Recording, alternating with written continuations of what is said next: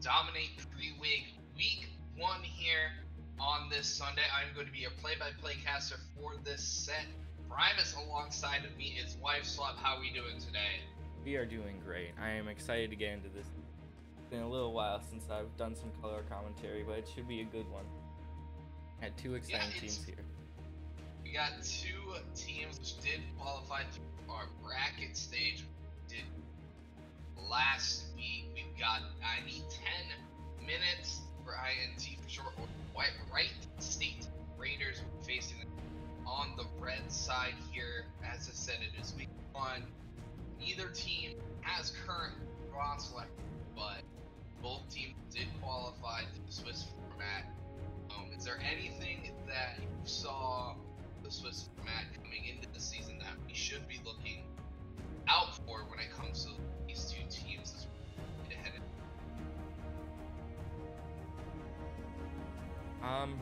there wasn't anything I saw that stood out. Both these look fairly strong in a fairly even matchup. NM does tend to focus mid a little bit more, um, but it's understandable. They've got really good mid laner, and so you know you always want to play around your strong strong sides, work around that. Uh, and starts off immediately with the Singer ban from Wright State Ra- Raiders they realize that he's a very good player. Yeah, there's always a couple different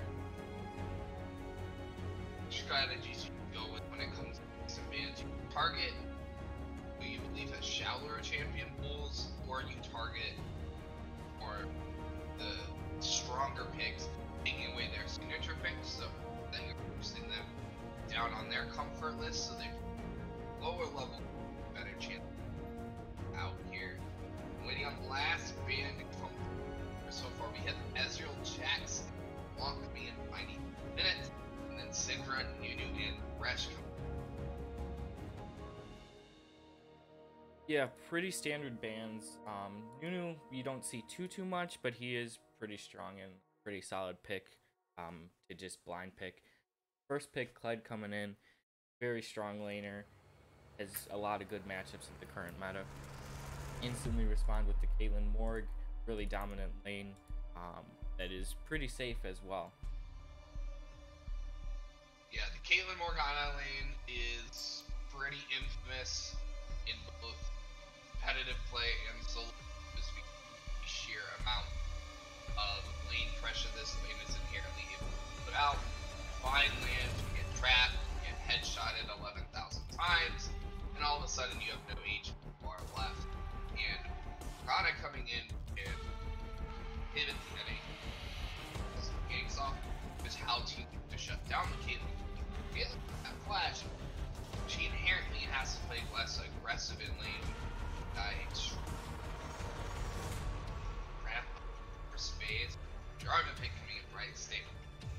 We have Kled, Hecarim, and Kai'Sa coming in 90 minutes versus Caitlyn, Morgana, and Jarvan side of state. Very strong picks coming in from both sides. Both teams picking up uh, good early game picks plus good fighting. Yeah, both these teams are looking solid. The Jarvan pick is really going to help with that engage. Like you were saying, Caitlyn can be a little bit vulnerable to ganks um, once doesn't have flash, and Hecarim really, really loves to gank, really loves to put that pressure on. It'll be interesting to see where they start to focus around this map, um, because if they can start to neutralize this Caitlyn Morgana lane, prevent them from getting ahead, it can be really good Yeah, it's going to be interesting to see what's going to come in during the second phase of picks here to round out these two team compositions because they can really either go per phase on each side here. They've got a very strong core build sides. Let's see. Maybe a solo link top. That's the greatest matchup. But Yeah, the Pantheon matchup is pretty interesting into Kled. Kled doesn't have too much mobility, so it is pretty easy to just block all of his damage. Use his W on you. Um, then again, Pantheon can be flexed mid lane depending on if that matchup is better for him. Pantheon is a pretty strong champion right now. Um, does still fall off a little bit, but he's definitely incredibly strong early. Still a very powerful champion classic Tyson Braum bottom lane a very strong bot lane, even in Ghana.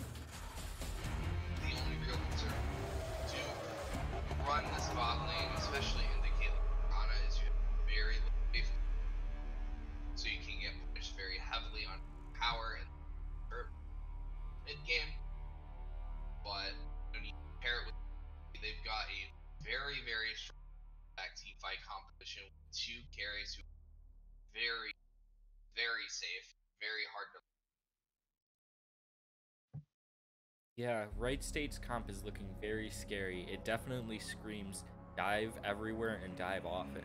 Pantheon being able to tank up turret while Jarvan and Ori can just bolt in and do a lot of damage is going to be very scary and very difficult to play against. It's going to really depend on how good I Need 10 Minutes vision can be to keep their lane safe and good use of Corki package to prevent any.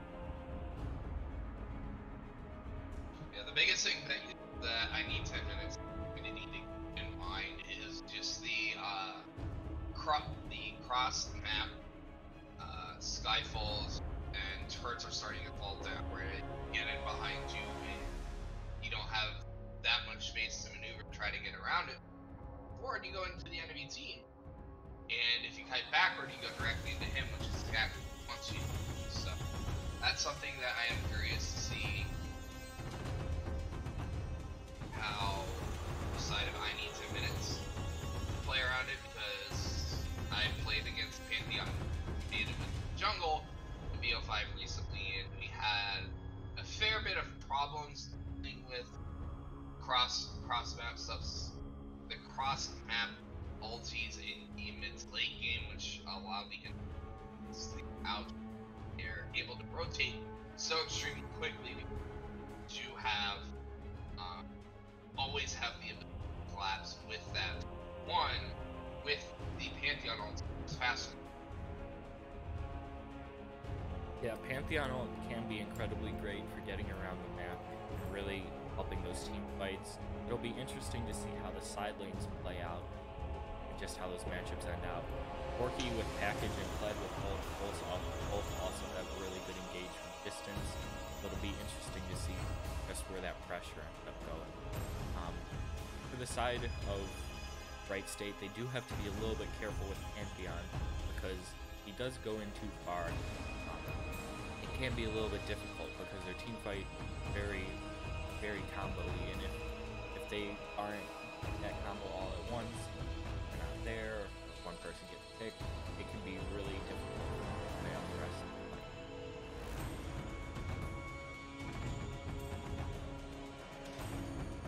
That is always a concern whenever you're running things like the Jarvan Orianna combo. You're very reliant upon that combo getting into the back line and hitting multiple targets.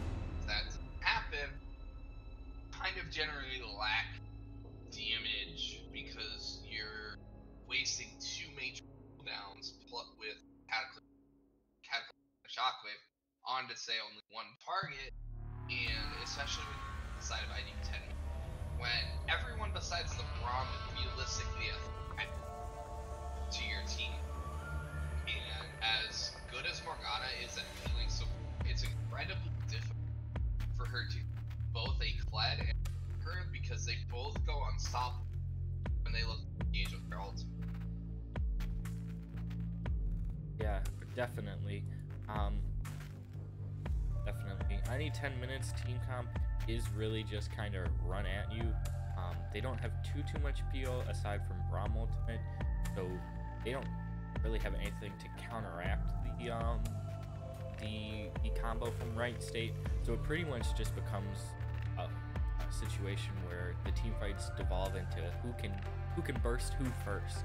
Because if they can get like, that Jarvan or the Ori, and then they lack the damage from the side of Wright State, um, it can it can really start to go right for them. Or wrong for them. Pun unintended. Maybe slightly. Well, I would. what I would agree is, well, to some extent, like to branch off further, is that this this game I feel like will come down to whoever is consistently able to pick their fight. to team has great counter engage, great disengage. They're very reliant on that primary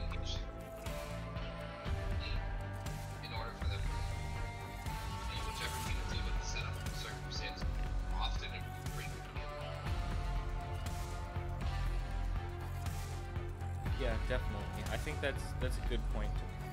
Um, with that being said, we aren't going to head into a break before the game. Get everything situated.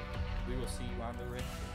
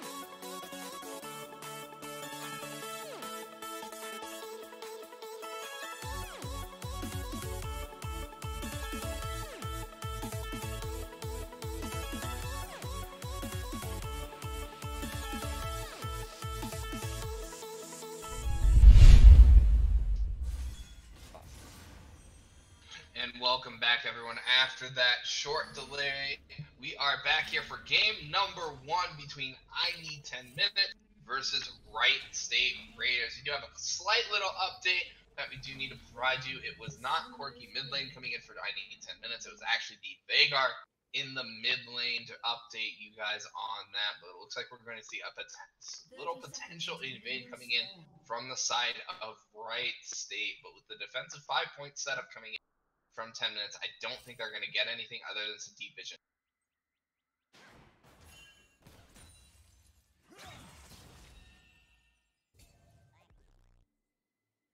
Yeah, that was a very interesting invade. They saw the Bra- uh, Braum there, but still decided to commit to it and just get the ward down.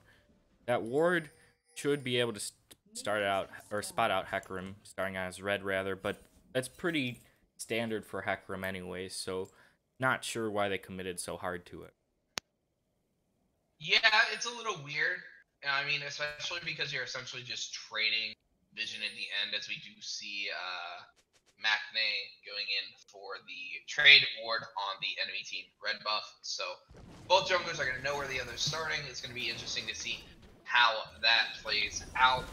With that being said, let us give you guys a quick introduction of the two of the teams we'll be casting here today. We have for the Baloo side for I Need 10 Minutes, we have Never Ends in the top lane, Big Z's in the jungle, Maknae, Sehun in the mid lane on Veigar, and then Karn and Depressed Artist down in the bottom.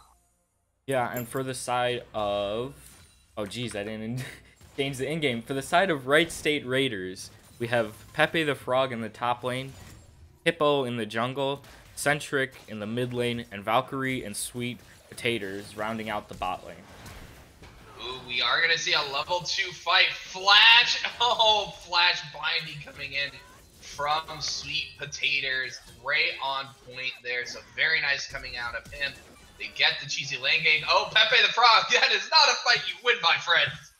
As it's a trade kill going back to Never Ends in the top lane. That's a solo kill coming in for the Kled. Yeah, that was an interesting fight for Pantheon. Um, Kled with W level 2 is a very scary champion. Um, I'm not sure that that was the best idea, but you know what? It happens. It's early game. Pantheon's a new champ, still getting used to him. It's all understandable.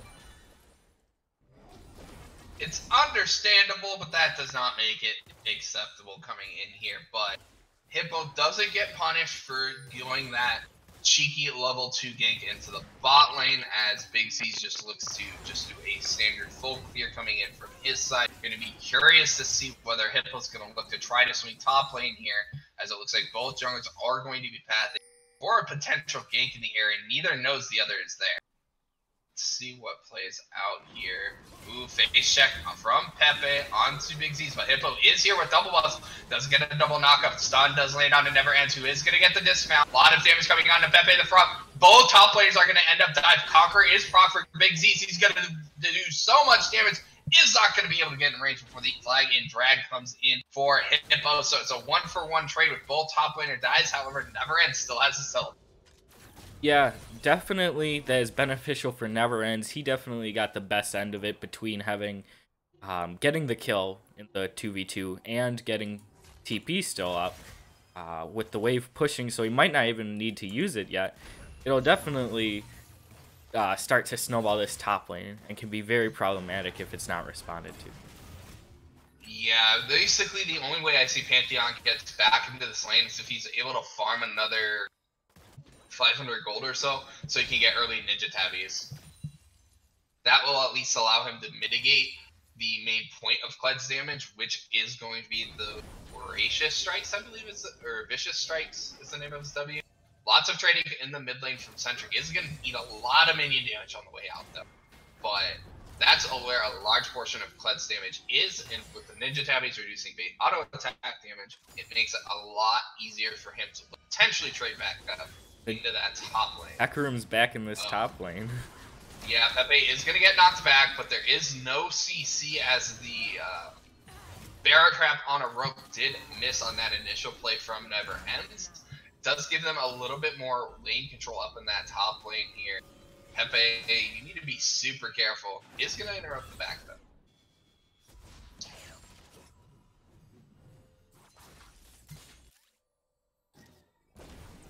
Yeah, definitely interesting. Hecarim's still top lane. These junglers really love this. But another double knockup lands. Big Z should fall to one more auto from Hippo. But the pressure onto Pepe the Frog is going to force Hippo to disengage. He still has that Cocker Pop, is still doing a lot of damage. Lands the EQ onto Hippo, but he gets the level 6 and the rebound coming in from Never Ends. And this is going to be a, a sad, sad day for Hippo as that level 6 for Big Z turns around this 2v2 and this early game is being disastrous for the side of Wright State. Yeah, that that really hurts. That that's just there's not much to say except that's really unfortunate. Um, that was very well played by um, the side of 10 minutes with how it started out. Um, but that's just one of those situations you look back on. It just it hurts. Yeah, because that pretty much signals that Pantheon is not going to be a relevant champion in this game. Outside of maybe being a cutoff ulti on the backside, he's not going to be a relevant damage threat to the side of I need 10 minutes, considering how drastically far behind is. He does still have the minion weight advantage, but with four kills onto the Kled, who already has a Tiamat, that is not a happy place you want to be in. Um, mid lane is going well for the side of Wright State, so they do have that advantage. But bot lane is actually being relatively even so far, as Never Ends is going to go back in onto Pepe. Uh, it's just going to be way too much damage coming in from this Kled. You do have some mitigation from the Pantheon, but it's just not enough. This Kled is just so far ahead at this point. Yeah, this Kled is up 1.1k gold, which is the entire lead off Here comes that. Big Z. Ooh, nice have. binding. A really great binding for Morgana there. But she gets stunned up and forces Caitlyn to heal. Ooh, Karn's eating a lot of trade damage. They do not have a defensive summoner. Another bind, ending night into the trap, and that's just that's just the pain of playing against Caitlyn Morgana. Yeah, that that lane is incredibly frustrating. I mean, one wrong step, one binding, and you're instantly dead. There's not much you can do about that outside of um, wishing you didn't have to face such an oppressive lane. Jarvan is Yeah, there are. Uh, yeah, Jarvan is going to look to try to start this Ocean Drake. It would be a very strong pickup for their team. Um, pretty much everyone on their team will benefit from that because it'll allow them to scale just fine into the mid game. Pepe the Frog is just. Pepe just needs to not leave his tower. That's what he needs to do. Uh, Ultimate is available for Big Z, but probably a better idea just to let the Ocean Drake go. Save it for playmaking because you really need to try to do something in this mid lane to try to get some more gold onto the Veigar. Pepe is gonna get get engaged on under the tower, is gonna live barely, but no, the pocket pistol comes in to get the last shot as that's another solo kill. Two never ends. And if you're the side of Wright State, you really need to look to try to trade advantages to somewhere on the other side of the map because this Kled is 100% out of control and there's not much you can do to stop it. Yeah, this Kled is becoming, well, he's not even becoming, he is very scary right now. Um, and Jarvan going Cinderhulk is going to really make ganking Kled not a very viable option. Oh, that's just a dead Braum. Yeah, I, there's nothing you can do about that. It, it just hurts. Yeah, without Flash available, Morgana having level 6, she gets free Flash ulti, and you just don't get to play the game. Because then you get blinded, then you get trapped, and then you just cry a little on the inside. So, right now, the advantage is on the bot side of the map for the side of Wright State versus the advantage at its top side right now. It's the question is is whether or not the Caitlyn and Morgana can transition their advantage into getting turret plates down, into rotating around the map and continuing their siege. Because otherwise, this Kled's just gonna run them down consistently. Big Z is coming in the mid. Oh, nice use of the ultimates coming in from Never Ends. But we do have an engage coming in from the bot. Car going in with the killer instinct is able to secure the kill onto Morgana. Pepe the Frog did come in into the mid lane, gets pulled back by Bear Trap on the rough. That's going to be another kill. And Valkyrie is going to die as well, as that is a double kill the bot lane. It's 10 minutes then 10 minutes. It's time to turn up the heat, boys. Yeah, absolute disaster from the side of Wright State Raiders.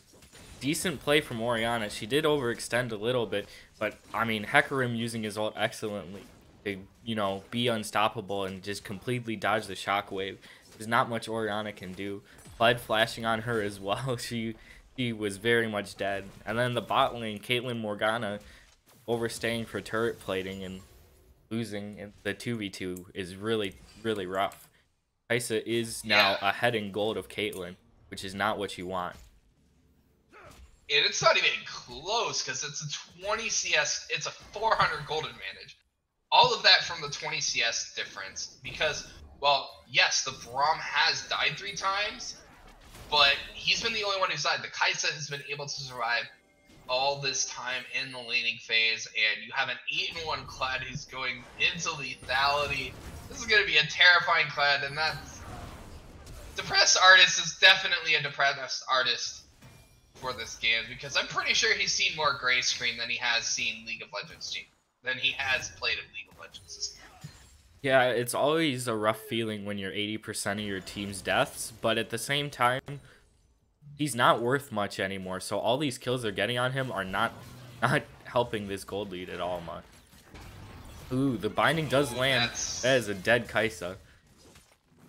Yeah, didn't have the, didn't have any way to use the killer instinct to try to get out. Pepe's just dead. We don't. There's nothing to see here. That this Kled is so fed, he's building lethality because he knows he can get away with it. And this should be a dead Veigar. Yep, Centric does get a kill back in the mid lane, but first tower is gonna fall a juicy 600 gold onto this Kled. I want to do a quick check, see what the gold number is for that Kled. That that Kled is currently sitting at 7,000 gold at 12 minutes. Yeah, he currently has a almost or over 4,000 gold lead on his laner, which is really, really difficult to deal with. He's about 2k gold above everyone else in the game, and he is unstoppable right now. Yeah. It's just a very unfortunate set of circumstances coming in for the side of Wright State is you essentially have one side of the map who is basically the equivalent of Dyrus at Worlds in season four, I think that was. Or may have been season five. Where uh, he just didn't get to play the game of League of Legends because that's essentially what Pepe the Frog is at right now with how far this credit is ahead of him. Bugsy's getting closer and closer to his Triforce power spike. We have Drake spawning here soon. And with Never Ends rotating down to this bot side of the map, I do not think the side of Wright State can feasibly contest this Drake when it spawns. I'm not sure they'll be able to either, but we'll have to see. Here comes Never Ends is coming in on the flank. They did have a nice initial engage. So much damage being traded back forward. Big Z's is here going directly into the backline, immediately taking out the Pantheon. Gets a huge fear from the ultimate killer instinct coming in on the backside, trying to get the kill onto him. The sweet potatoes is all by himself, and he gets turned into some sweet potato pie. As it's going to be a bot lane tower and a Drake over to 10 minutes. Yeah, the Veigar did a great job of um, zoning off the Orianna there so that she couldn't follow up. He did die for it, but it was a valiant effort and really helped them win that team fight. Yeah, just a very, very strong series of events. They did have a great initial attempt at the play using the Grand Skyfall coming in from the side of Wright State. But the issue is, is they're just so far behind in gold. The Pantheon can't last long enough. The, they can't assemble all the pieces of Exodia properly. With the Orianna not being th- there on top of it, that it's it just turned what could have been a good play to a unmitigated disaster for the side of Wright State here but it is still early in the game. There's still time for them to get their item timings. And when you look, and as we said earlier, a lot of the gold coming in from I need 10 minutes is onto the onto the Kled. And if they can find fights where Kled is not there, they have a small chance of making good things happen. Yeah, this Ori is getting a lot of damage. With Kled going first item Ghost Blade, he is really squishy, so he still can definitely get bursted down in team fights. Um, it just depends if they can get all their pieces working together. You know, we've gotten Orioles We've gotten J4 ultimates, but we haven't gotten them together and haven't really had any decisive moments from the side of Wright State Raiders yet. Yeah, there's still a lot of League of Legends left to be played here, as that is a large chunk of damage on Karn. Probably going to see Rift Herald drop here momentarily in the favor of 10 minutes. Would like to see them break this last outer tower in the mid lane and look to push the tempo of this game and kind of foresaw any potential uh, scaling opportunities that could come in here, as that's another chunk of damage. This is going to be a 2v1 in the bot lane. We are going to see Soul Shackles come in. Nice slash from Sweet Potatoes is going to stop the charge from getting him away, but nevertheless, is just like, okay, I'll just fight this out. He still has a lot of damage on this Kled as Depressed Artist is going to die, but Card is going to go in, trying to get the burst out. Oh, that killer instinct to dodge the EQ was so sexy. Grand Skyfall is going to come in to secure the shutdown onto Never Ends, but overall, it's a one for one trade across the map, but that shutdown certainly makes Pepe feel a little bit better about this game. Yeah, that shutdown definitely is important. Jarvan was unable to stop the Herald charge there in the mid lane, but they might be able to just kill it. Yeah, they are, they can still potentially kill it, but the bind in trap lanes is going to buy a little time. But Karn comes sweeping in from the side. Ghost is activated for Big Z. Sweet Potatoes it's pretty much choosing his poison at this point. Maybe he can possibly secure a kill back here, but no, Big Z is going to secure the kill. Rift Herald is pushing, never ends, is going in with the Ghost Blade, trying to get out onto Pepe the Frog with the Titanic Hydra doing so much damage. They are going to get another charge off, but they're not going to be able to secure the tower on this push. Yeah, that was a definitely a great play from the side of 10 minutes. Able to get that last outer turret, really start to open up the map.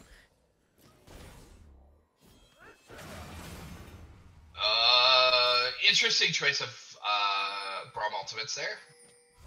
Yeah, sometimes you just need a insurance disengage. You know, make sure they're not doing anything. Yeah, but ID 10 Mans is a little bit out of position. They have no Braum ult for disengage. Hippo is going to go in. Karn is here. He does not have the killer instinct quite available yet. Sun is going to land on the card. Depressed Artist is going to do a good job getting into the way. Braum concussive blows is going to come in and proc onto him. While on the other side, Centric trying to get in position is going to get the shotgun to secure the kill onto Depress Artist, but Maknae is here, has full HP, has a Glacial Augment. Stun, uh, knockup is going to land so much damage coming in. Primordial Burst is going to secure Card, swooping into the backline, trying to get an assassination off, but doesn't get the isolated damage, and now he's all by himself. One more auto is going to secure the kill, as it's another shutdown going over to Wright State, but that one going over to Hippo, not the target you really want it to be going on here. Never ends, almost has the remount here, trying to bait out that extra little bit of damage. Big Z trying to go in onto Hippo is going to interrupt the flag and drag. A lot of damage being traded back and forth between these two junglers, but Big Z's just going to do so much damage. He tried to get the concup, to get the Cataclysm off to buy him a little bit of time, but the Soul Shackles is going to come in as Never Ends once again is going to fall with this kill going over to Valkyrie. Yeah. Um, overall, at the result, currently just a one for one. Um, after that second re-engage, there is a teleport coming in from Kai'Sa. Not sure if she'll sure be able to. It was just the second re-engage and not like the fourth or fifth at that point. it was a very extended fight for took a took a little bit of time. Um, but Kai'Sa does burn TP there, looking for kills. So that's another summoner that's down. Over in the side, that's probably more beneficial for Wright State Raiders getting all those shutdowns onto people. Aside from Hecarim, he's still got a lot of gold in his pockets. Yeah, he is one very happy pony right now in terms of his gold advantage.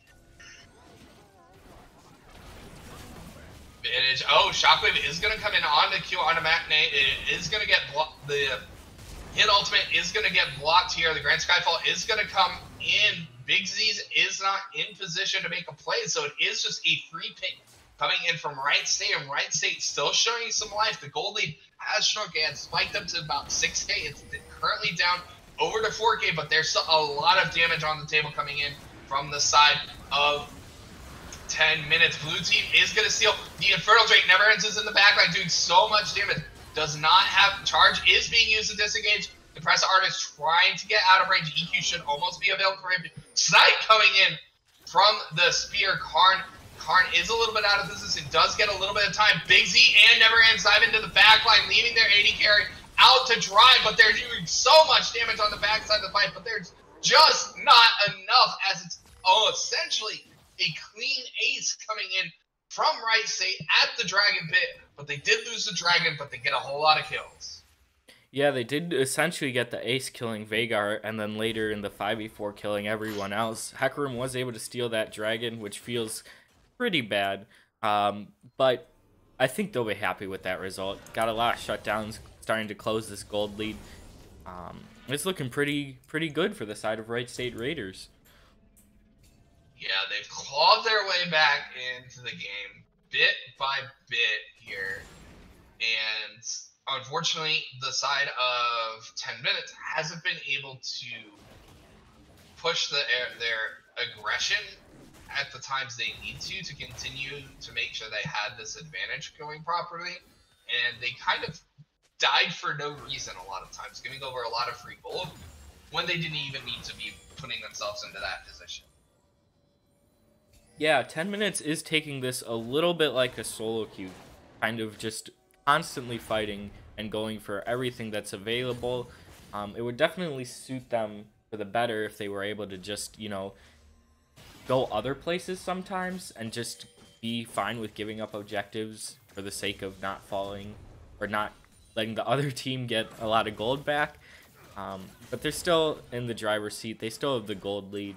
They're still a very scary team right now.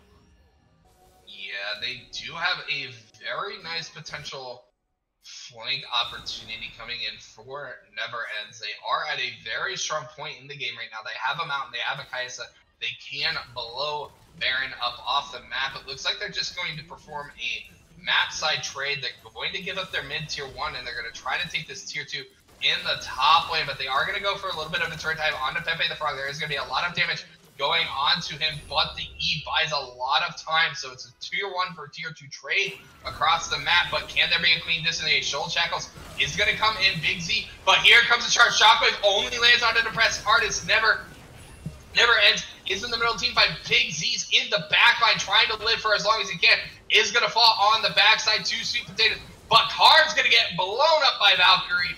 Nice EQ coming in, never ends, eats up the ace in the hole coming in on the backside. They're still trying to get away, but there's so much chase potential. That's going to be another kill with the with the cute W coming in from the Orianna. It looks like they're going to attempt to do the Baron. There is still a lot of damage left available. Oh, they walked right into the bind. That's going to be a dead Veigar.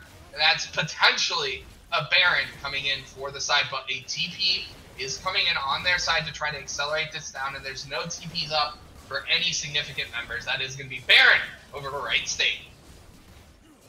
Yeah, unless Braum can get lucky here with a Q or something. Don't see it happening. No. Braum is in a very scary position now. Doesn't have much health. Might just I be mean, dead. If you if you want to, yeah, he's just dead. Gives it over to I mean, I somehow stole Baron against the Nunu as a Morgana with my Q, so. Yeah, it definitely happens sometimes. Um, it, it's not it's not entirely unexpected, but it, it, it's certainly something that you don't expect to see happen. Wright State putting on a whale of a comeback after a pretty much disastrous early game coming in from them, evening up the gold. Gold. Both teams sitting at just about forty-five thousand right now, but you still have to say the pressure advantage with the way the map is right now, is still in the favor of 10 minutes as long as they're able to solve this Baron buff without giving up too much. Yeah, this Orianna is looking incredibly scary. She does have the most game or most gold of anyone in the game currently. Um, is putting in a lot of work alongside the Caitlyn and Morgana. They're really, really carrying these team fights and putting in the damage they need to get their comp rolling. Yeah, this Orianna is really hit, starting to hit some big, big item timings coming in here. Caitlyn going for the triple, the triple crit rather than going for the Essence Reaver, um, which you've been seeing a lot of Caitlyn's going for, going with the double Seer. So, um, I disagree with taking a dragon here, um, because you are just wasting precious Baron time, I mean, you're still going to get at least one tower here. Um, the question is, is whether or not you're going to be able to push to, for two towers because there is still a lot of engage on the side. But they are going to try to go in. Nice Braum Ultimate's going to buy a little bit of time. A lot of damage goes on to the tank. Grand Skyfall is going to come in, but Pepe the Frog is all by himself. A lot of damage got put on to some crucial members of 10 minutes. They should be able to effectively get this tower down here coming in from the side of Wright State. So they got two towers. They still have about 30-ish seconds left of this Baron. Hippo gets engaged on by Big Z, but that's the full tank Jarvan. You're not going to kill him instantly. Yeah, really good fight there from Wright State. They didn't even kill anyone, but just just because of the pressure they put on, they were able to get those turrets off of it. They will heal up decently off this Ocean Drake, but Pantheon is in a little bit of danger. Yeah, he does have the Guardian's Angel, so it's, it's going to be quite a bit of time. They are going to lose a mid-tier 2 for going for this play. But, so that's going to be a large chunk of gold coming in for the side of Wright State, as I do believe they Nope, they're just going to choose to disengage here rather than pressuring for that tier 2 tower. So, out in total off the Baron, they get two towers in an Ocean Drake, which does give them a solid gold advantage. And Jarvan decides it's his red buff apparently. Yeah, interesting to see him take the red buff there. Um, definitely not the most optimal accident, play, but... but yeah, yeah, it, it it can be, but you know, your ADC can kill it good enough. You don't gotta help them. You got other camps to clear. Uh, I just want to say hashtag 420 in the chat for uh, Veigar AP right now. That is definitely a nice number. Always love those. Jarvan's face oh, check. Hippo's going to face check. TP is going to come in from Never Ends, but that is one Tinky Jarvan. Huge shockwave coming in on the backside. Is going to take out Karn. Their consistent damage AD carry is down. Valkyrie is free hitting on the back side. They're going to try to get some CC onto Big Z, but they're not able to do so. Maknae is just going to flash over the wall to his head death as it's a two for one trade in the end. Jungler for the, excuse me, three for one in the end with all the carries on the side of 10 minutes off the map here and plenty of time to siege coming in from the side of Wright State. Yeah, that Orianna shockwave there really, really put in work, really did a lot of damage. Um, it didn't kill the Kai'Sa right outright, but it, it chunked her so so darn low that she couldn't really do anything for the rest of the team fight. Yeah, she was pretty much out of the fight at that point. They do break the base off that play. They have Baron spawning in about a minute. That's going to be their next go-to objective. They need to get their vision set up and look to just continue to set up these strong team fights because 10 minutes really hasn't shown any semblance of having a team fight advantage despite how massive their Kled got in the early game, because their Kled was at one point nine and one. I'm pretty sure he has now gone one in five. Yeah, he he was nine and one. Um, speaking of Kled, I I'm not a big fan of his build. Um, the only one of his items I really like is the Titanic Hydra. Even against this team, um, with the Orianna and the Morgana, I feel like Merc Treads would be better. And then, you know, just standard Black Cleaver character or something to give you a little bit of health so you don't get instantly bursted.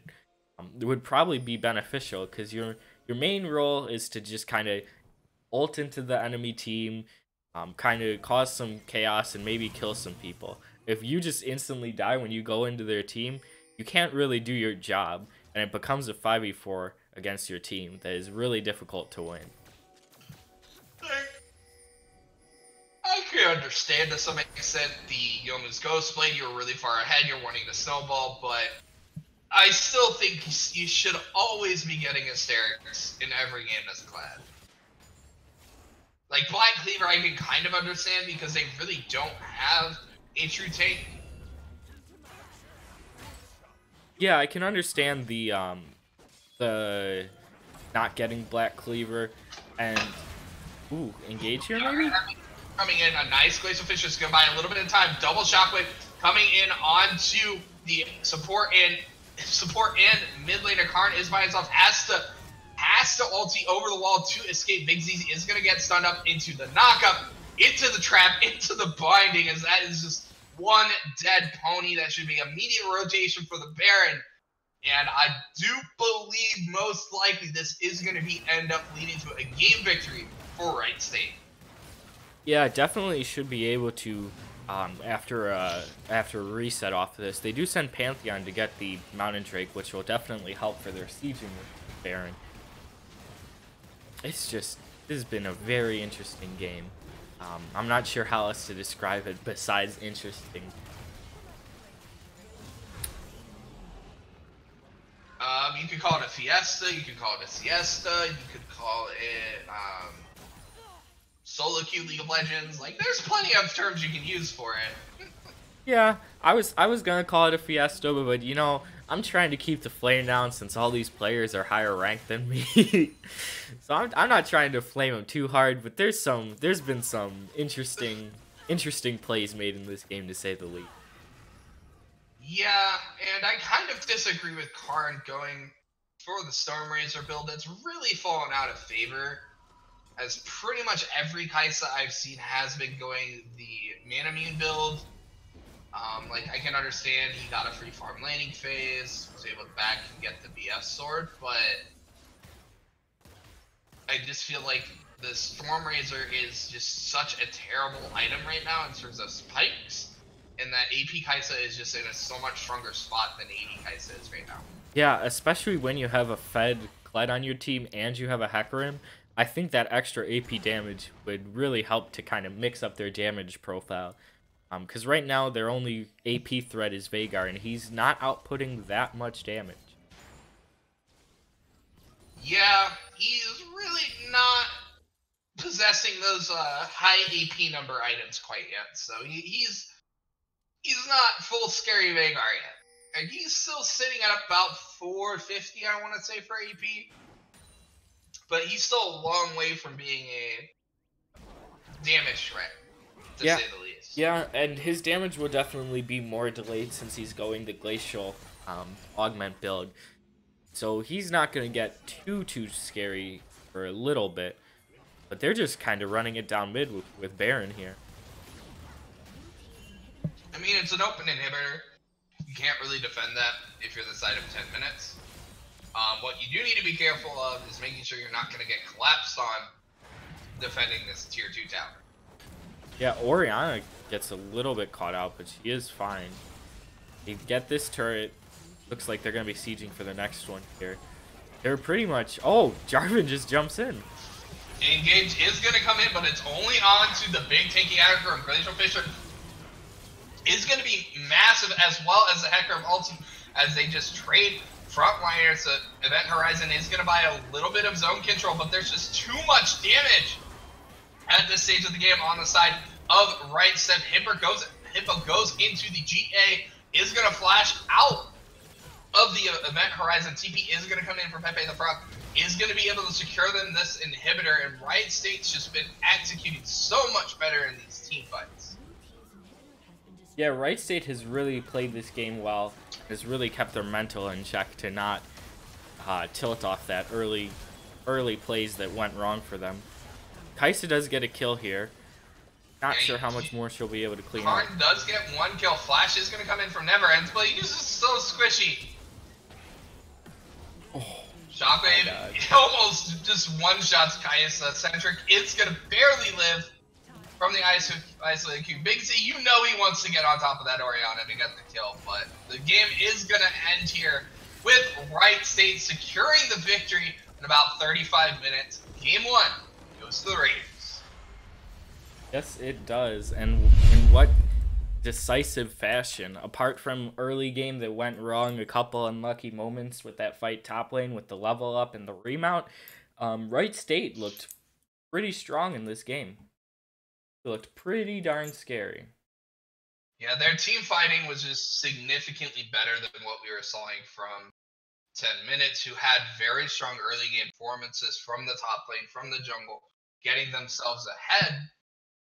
However, when it came to team fights, it's I just felt like the side of 10 minutes was never on the same page when it came into the team fights in terms of how they wanted to execute team fights, what they wanted to do, because they almost never initiated team fights on their own terms. They were always secondary engaging. And as I said for the game, this game is going to come down to whichever team chooses the fights. And throughout the entire game, the team that was choosing the fights were Wright State. Yeah, definitely right. Th- you were definitely right there. Um, I need 10 minutes, like I was saying earlier, doesn't really have much appeal. So Wright State raiders able to just jump on them, able to get their damage in and just kill them. Go from there. Yeah, it, it there's still quite a few things that can be changed on both sides going into the next game.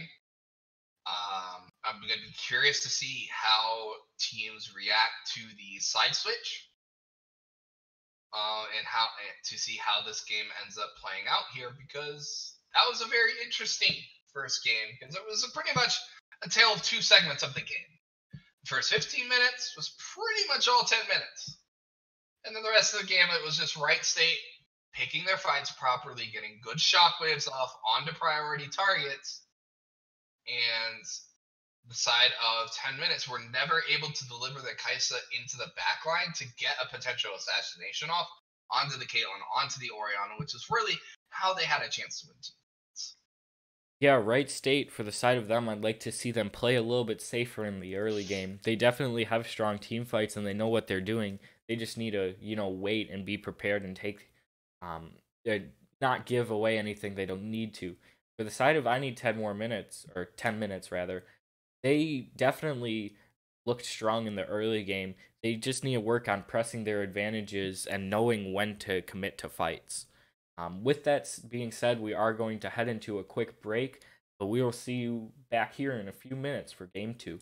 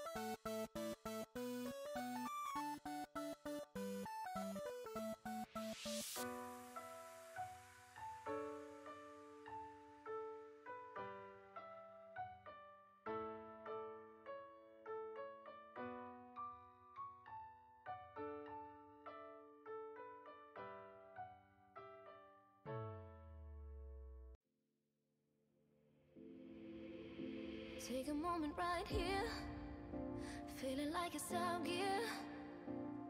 Driving towards the sun with a rose and a gun. Feel the wind in my hair, going nowhere, I swear. Like an outlaw on the run, dangerous, but it's so fun. Running. Are live. And welcome back, everyone, to game number two between the Wright State Raiders and I Need 10 Minutes. I am once again Primus alongside Wivestrop. We're back here bringing you the second game of this best of three series. Wright State taking the first game in a very back and forth game here coming in. How you feeling about how you feeling coming into this game? I'm feeling excited. It should definitely be a good game. Um, Wright State Raiders did swap sub out their top laner. They're subbing in Arrowman one two five six because Pepe cannot play this game due to other circumstances. Definitely not because of tilt. It's just in timing. Yeah, it just happened to work out that way. We'll just leave it at that here coming in as we are already through our ban phase for the first rotation. We have Syndra, Hecarim, and Kled coming in from the side of Wright State, while on the other side we have Morgana, Jarvan, and Kai'Sa being taken away by ID Tempest. Yeah, definitely some interesting bans coming. The Kled is very understandable. The Hecarim, he was a little bit of a threat, but he didn't seem to do that much. My opinion. I need 10 minutes. Does decide to ban the J4 and the Kai'Sa. Interesting that they decided to leave up the Orianna, who to me seemed like the biggest threat on the side of Wright State. Yeah, I don't really know why they chose to leave up the Orianna. I mean, maybe their thought process is they'll have a more mobile composition, like in terms of like big mobility that can avoid the shockwave. But I, I'm still not the biggest of fans because the Orianna was like the biggest high impact champion because you can always sub- substitute other pieces in for the Jarvan to get the same effect, i.e., with the Sejuani. But you can't substitute other things in for the Orianna and have the same effects. Yeah, and having this Yuumi on the side of Wright State Raiders with the Orianna is going to be incredibly scary. Whether it's the Shockwave dragging them all into the Yuumi ult or Yuumi keeping them in place for the Shockwave, there's definitely going to be a lot of synergy there and a lot of a lot of scariness coming out.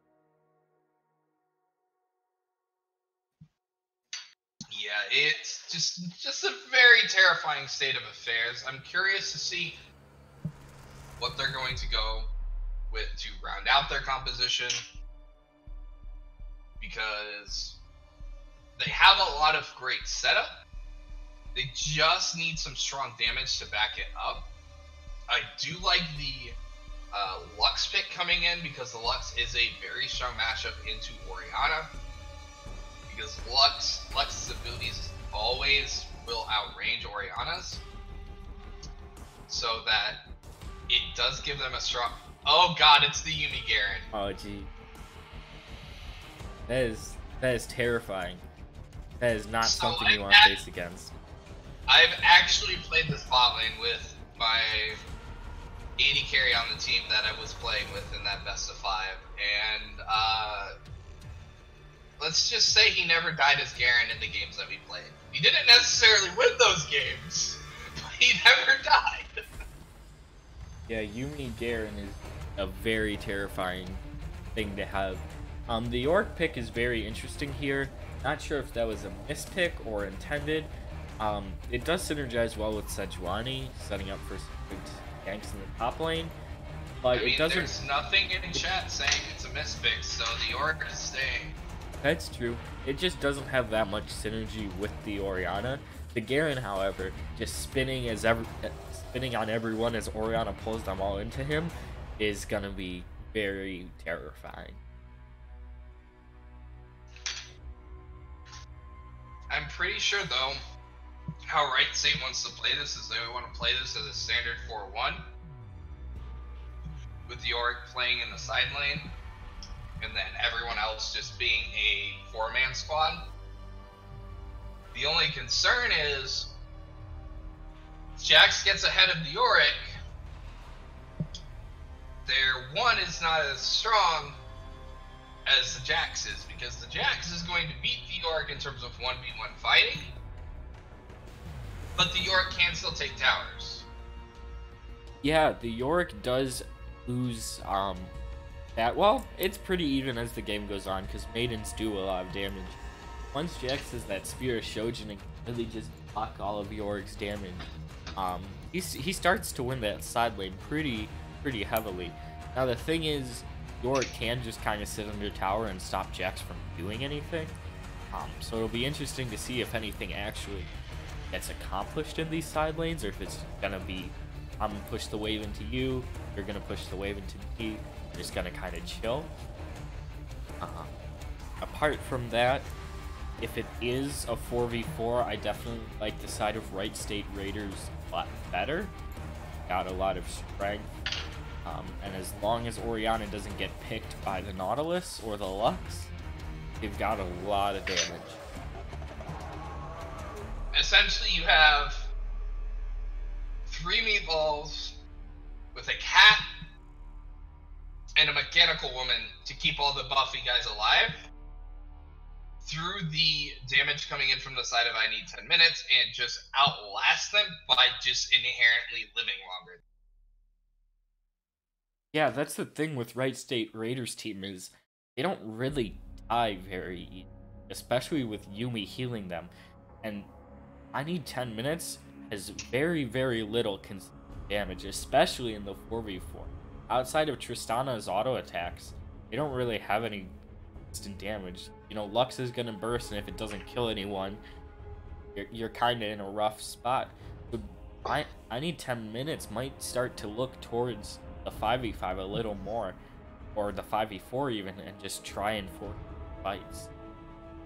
Yeah, essentially, I see the only real ways they are able to do anything these team fights is if they pick one of the meatballs off when they're not fully set up as the foreman.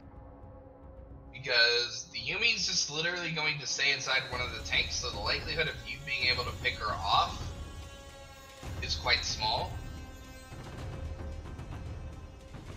Yeah, I mean the thing is, um, Wright State Raiders doesn't have much siege, um, and I mean their wave clear is okay enough, but they don't have much siege, so in the 4v4 they're not gonna really accomplish.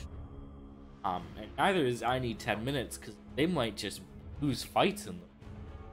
Um, and the side lanes gonna kind of be even as well. So it'll be really interesting to see if anything actually happens in the game, or if we're just gonna wait for someone to misstep and get a good team fight.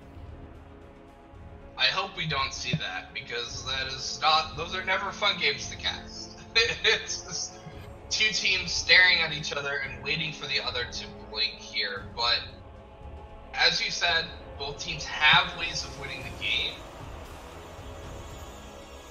but you have to like what Wright State is putting together a little bit more here as we are going to head into another short break here as we are waiting for our spectator play to wind down. We will be back with you guys in just a couple minutes with some more Waves League Legends action.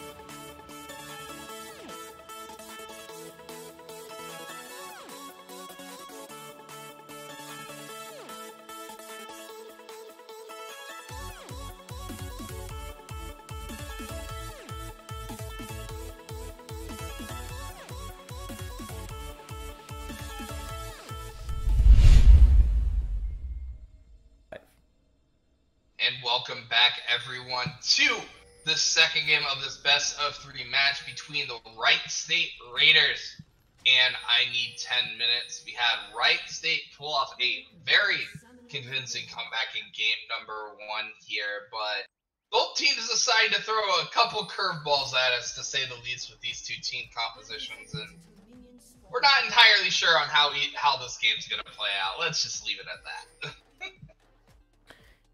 Yeah, this game is gonna be gonna be very interesting. It might be a little bit slow paced, um, but we'll, we'll see because these this game can snowball very quickly for either side. Yeah, because if the side of 10 minutes is able to set up their sieges, multiple lanes, and push the side of Wright State around the map. They have a lot of potential to take over this game and not allow Wright State to do what they want to do, which is have a bunch of meatballs running it down your throat. yeah, I mean, as long as they don't have a bunch of meatballs running it down their throat, it, should be should be fine. That's interesting wording. Um, but pretty standard starts from both teams. Both starting bot lane, just getting leashes um, from their bot laner. Top lane does fake the leash, um, so they may be a little confused as to where that went, where Sejuani started. But aside from that, everything is pretty standard so far. Yeah, one of the things I am going to be curious about is, uh, ooh, we are going to see a little bit of a trade. Potatoes, you got to be a little bit more respectful on that Yuumi.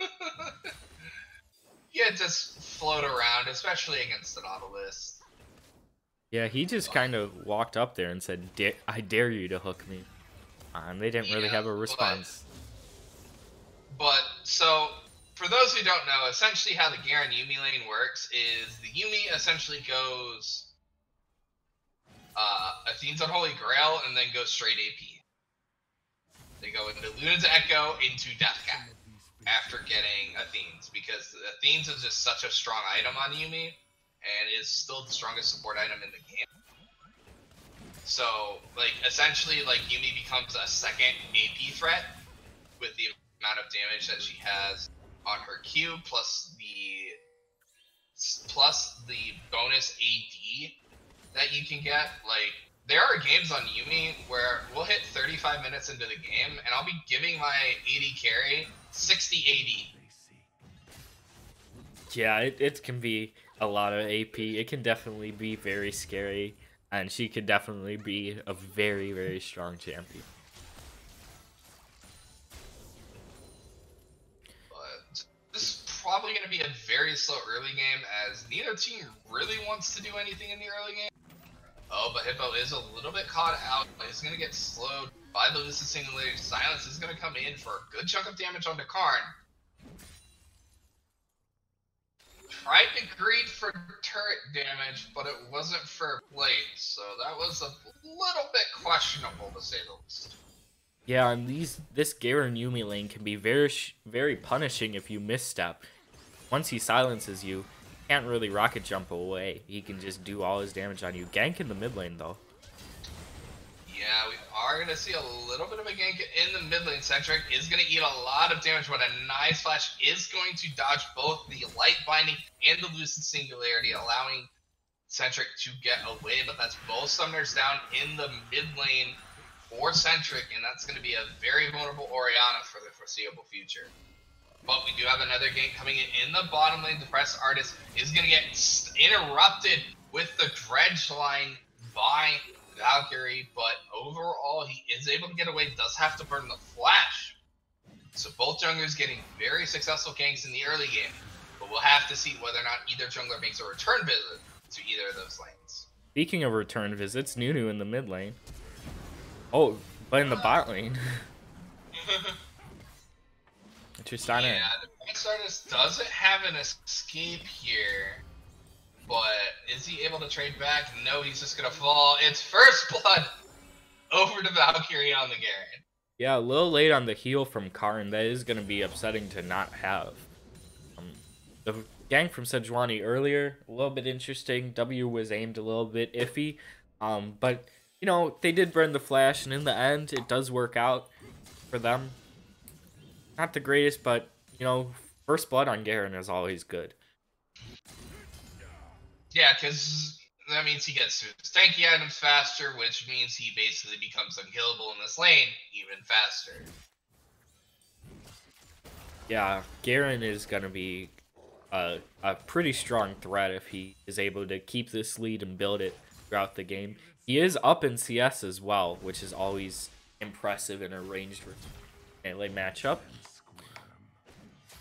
A little bit of trading in the top lane, nothing too too dramatic. Still pretty much wet noodle fights. Neither of them Yeah. have any significant items yet. Yeah, it's pretty much just uh I'm gonna attack you a couple times, you're gonna attack me a couple times, and then we're just gonna go back to farming. Um, neither of them really wants to commit. Well, it'll be interesting to see if Jax decides to jump on him from the bush, but he decides just to walk out instead. Uh, Yeah, keep farming. He's too close to tower. He can't really risk drawing turret aggro because if you draw turret aggro at this stage of the game, like there's enough damage with Maiden available on the Yorick that you will just die if you take turret aggro at that HP for the Jax. But both of them have hit their level six. Both of them are online in terms of champions. It's just going to be seeing whether how these junglers are going to play around. They are playing right now on the top side Scuttle Crab, but it looks like it is going to get secured by Big Z. Yep, Nunu should have this one pretty clear. He's got his Q unless Orianna can take it away. Is unable to, and now Orianna's in a scary position. Yeah, it does have Shockwave, is going to get the Shockwave from disengage, but has no Summoners quite available, but Hippo is going to rotate down. Flash has to be burned by Maknae in order to ensure the escape. Maiden is dropped in the top lane just for lane priority. Pretty sure uh, Arrowman wants to look for a back timing here. Um, does not have enough for a Sheen, as I think that's what he wants to save up for in terms of back timing. Might just be looking for some deep vision. Yeah, the teleport from Garen into the mid lane there helped to disengage, um, so that nothing went wrong for the side of Wright State. Um, it's just back to farming. Gank from Nunu here. This is gonna be scary. Oh, that's just a dead note. That's just a dead order. Yeah. There's not much you can do there. Sejuani's in the bot lane here. Yeah, they do not get the interrupt onto the Q. Flash is being burned. Has a lot of damage going on to Sweet Potatoes. He might end up falling to the Ignite. No, he lives with single digit HP as the press artist once again is going to fall victim. Flash being burned on the top side from Never End. As the new ball, new new snowball comes into the bot lane as they're trying to get the CT down on both of them. Absolute Zero is going to come in into the double binding, into the final spark, and that's going to be a double kill to Matinee. They do get one trade kill back onto Big Z, but that is a nice rotation coming in from 10 minutes. Yeah, that was greatly executed. This Nunu has been everywhere in this early game. Always ganking, roam down from Lux as well to pick those up. They are able to get the kill back onto Nunu, which is always good. Um, and while Yorick was going for all that vision and deep warding, he also took the red buff. So he has that. Now he has enough gold for Sheen and a little bit more if he wants. So he will probably backing relatively. Indeed, he will. Yeah, he, yeah, probably gonna look to pick up that Sheen and potentially like something along the lines of boots. Um, just because the sh- uh, did he have enough both?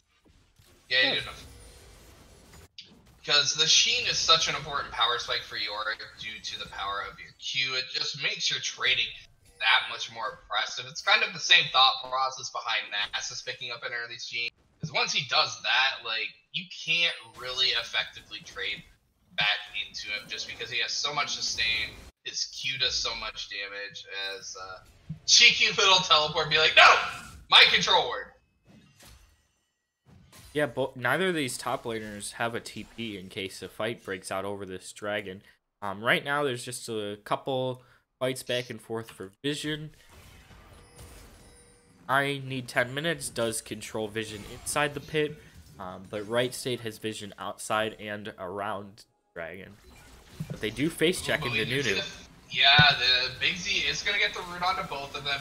Into the knockup final Spark is going to do a lot of damage. Shockwave's going to buy a little bit of time. Hippo is going to flash, but the flash absolute zero is going to secure the kill. Big Z is going to fall into response while a heavy trade is coming in on the bot side of the map as neither side is ended up going down as Final Spark and both Summoners did come out from Sweet Potatoes to keep themselves alive down in the bottom. Yep, so across the map it ends up being a one for one, or one for zero actually. I don't believe Sejuani died. Or no, she did. Yeah, No, she sorry, did. one one for one. Um, both junglers That's dying. Oh, and now the mid laner dies, or he's dead.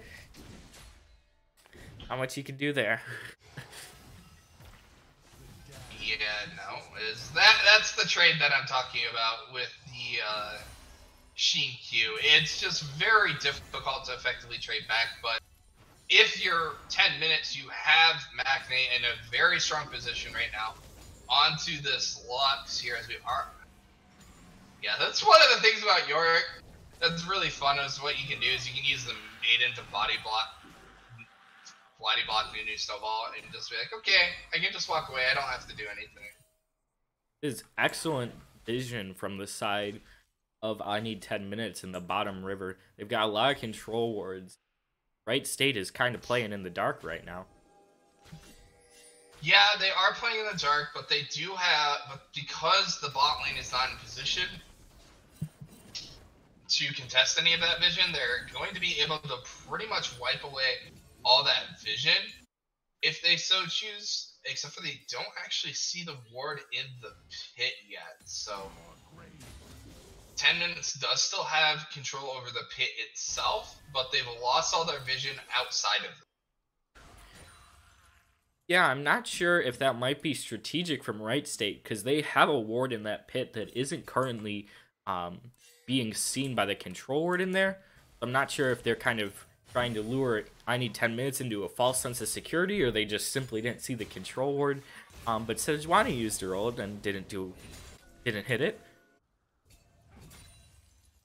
That's just one of those situations where you throw out your R, you realize you missed, and then you just go back into your corner and be like, okay, guys, I'll see you in about two minutes. I'll be back. Yeah, that that just kind of kind of hurts.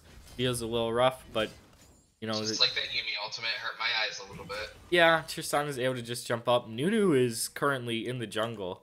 Uh, he might come around and counter gank this. Yeah, we are gonna have a. The stun is going to land onto Depressed Artist. It's gonna eat a lot of damage. Justice comes in to secure the kill. Big Z trying to do what he can. They do have the rotation coming in from from Maknae here. Stun is gonna land onto Big Z. Nice little sidestep on the Lucent Singularity, but it's not gonna matter. Shockwave is gonna buy a little bit more time. Hippo live for so much longer, but the kill is gonna come in from Centric. The Buster shot bought a little bit of time for the disengage coming in from Karn, but in the end, it's a one for one trade with both junglers end up falling down. Binding is going to land, but the sidestep from Centric is going to keep him alive. Yeah, Garen ran up and forced Tristan to rocket jump away, so she wasn't able to do too much damage in that fight. And really let them just kind of turn it around and get away with a decent amount amount there. Um, as you were saying, Centric sidestepping the ult uh, keeps them alive and just makes this a pretty good play for the side of Wright State. Yeah, they might lose another turret play on the back side of it. Depressed Artist has rotated back down here, but Garen's still fairly immovable in this bot lane here, so. Uh, don't know about that choice, as he's gonna get rooted up under tower by the uh, final spark. All oh, by the final chapters. The final spark spells the trade kill. Oh, the Sejuani R is still gonna land onto Karn. Exhaust is gonna come in trying to do time, but there's just not enough damage between the Sejuani and the Yuumi. They're going to try to get under tower, but the Arctic Assault gets them away from both the light binding. Centric has rotated down from the mid lane. He's trying to get into position onto Karn, but he's not going to be able to do so. The slow is going to land, but he has the jump back available and is able to get away. Yeah, Centric definitely was a little scared there. Um, Lux did not have much mana though, so he might have been able to just walk up and kill the Tristana and walk away. Um, in the end though, not much happens. Yorick does take Rift Herald. Um, that's gonna be scary. Just Yorick things. Just Yorick thing. He is trading pretty heavily with Jackson. He's winning it pretty heavily. Yeah, Couple E's it's coming the down. difference in it's the difference in damage output is Jax really needs to consistently be fighting while Arrowman just wants to walk up Q you and walk away as if they're going to trade flashes. Don't know if he needed to go for that though. Though like he already has the advantage, he has the Rift Herald, which he is dropping now to secure first tower. I'm a s- no he's not dropping it yet. No, he is not. Um, He was standing in the same spot, so I wasn't sure if he was using it or not. yeah. Um, he probably could have. Jax was a little ways away for a little bit. Um, but he can kind of just TP back to lane. That Yunu is here, but Jax is very low. So as long as he doesn't TP under uh, enemy turret, he should be fine. Play in the bot lane. So is gonna land on an artist, misses the hook, so has to immediately flashes the. I'm not even gonna comment anymore on it. that, that yeah these um the Yuumi ults are a little bit interesting um but Yuumi being They leave a Yuumi lot is still to be fine desired. Let, let's let, let's. That's what I'm gonna say.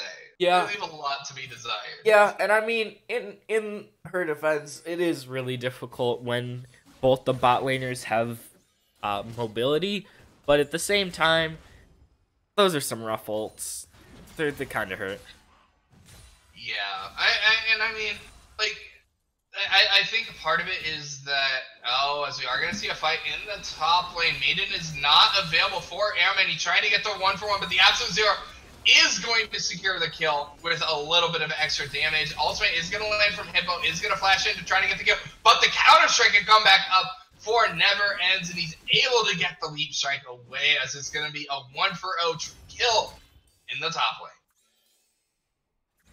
Yeah, that's just unfortunate. Um, luckily for Arrowman, he did walk back to lane instead of TPing, so he still has that. But Jax's is going to be up in a second tier as well. Yeah, gonna be interesting to see. Uh, yep, there's the TP. I'd like to see him immediately Centric just. is gonna get slowed into the snowball. Should die here. Yeah, I really just as soon as Yorick TP'd, I wanted to see that Rift Herald channeled. I just. He's got to use it. He, Um. he can't use it when Jax is here. Now he can. Jax's stun is down. He's just gonna walk up and try to not use Herald. Yeah, Does he? I think he's got like 30 seconds left on it. Oh, that's first And turret. they just give first Yeah. tower for no reason. Ah, that's that's really something. That's that's really something. Um, he does get first turret now. His Rift Herald is gonna expire pretty soon. Uh, I need 10 minutes does get uh, the Ocean Drake and is gonna look to probably set up something bot here. They have four in the Yeah, area. he's only got about five seconds left on that. He's gonna have to channel it in base. Yeah, it doesn't have much time left on it at all. That's that's just He has to unfortunate. channel it.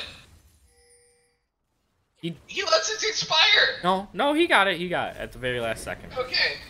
That's just Dear Lord, man. I just don't know why you committed to Gang Herald if you're not going to use it. But Uh, it's it's it's whatever. I, I guess. I guess it sets up them having a four-man play bot side, but like bot tower is not important. There's no objectives on the bot side of the map for you right now. Yeah, there's there's not much to get. He just throws it and walks top lane. This Lux is incredibly strong right now, and this Herald might bait them into a fight if they stick around too long.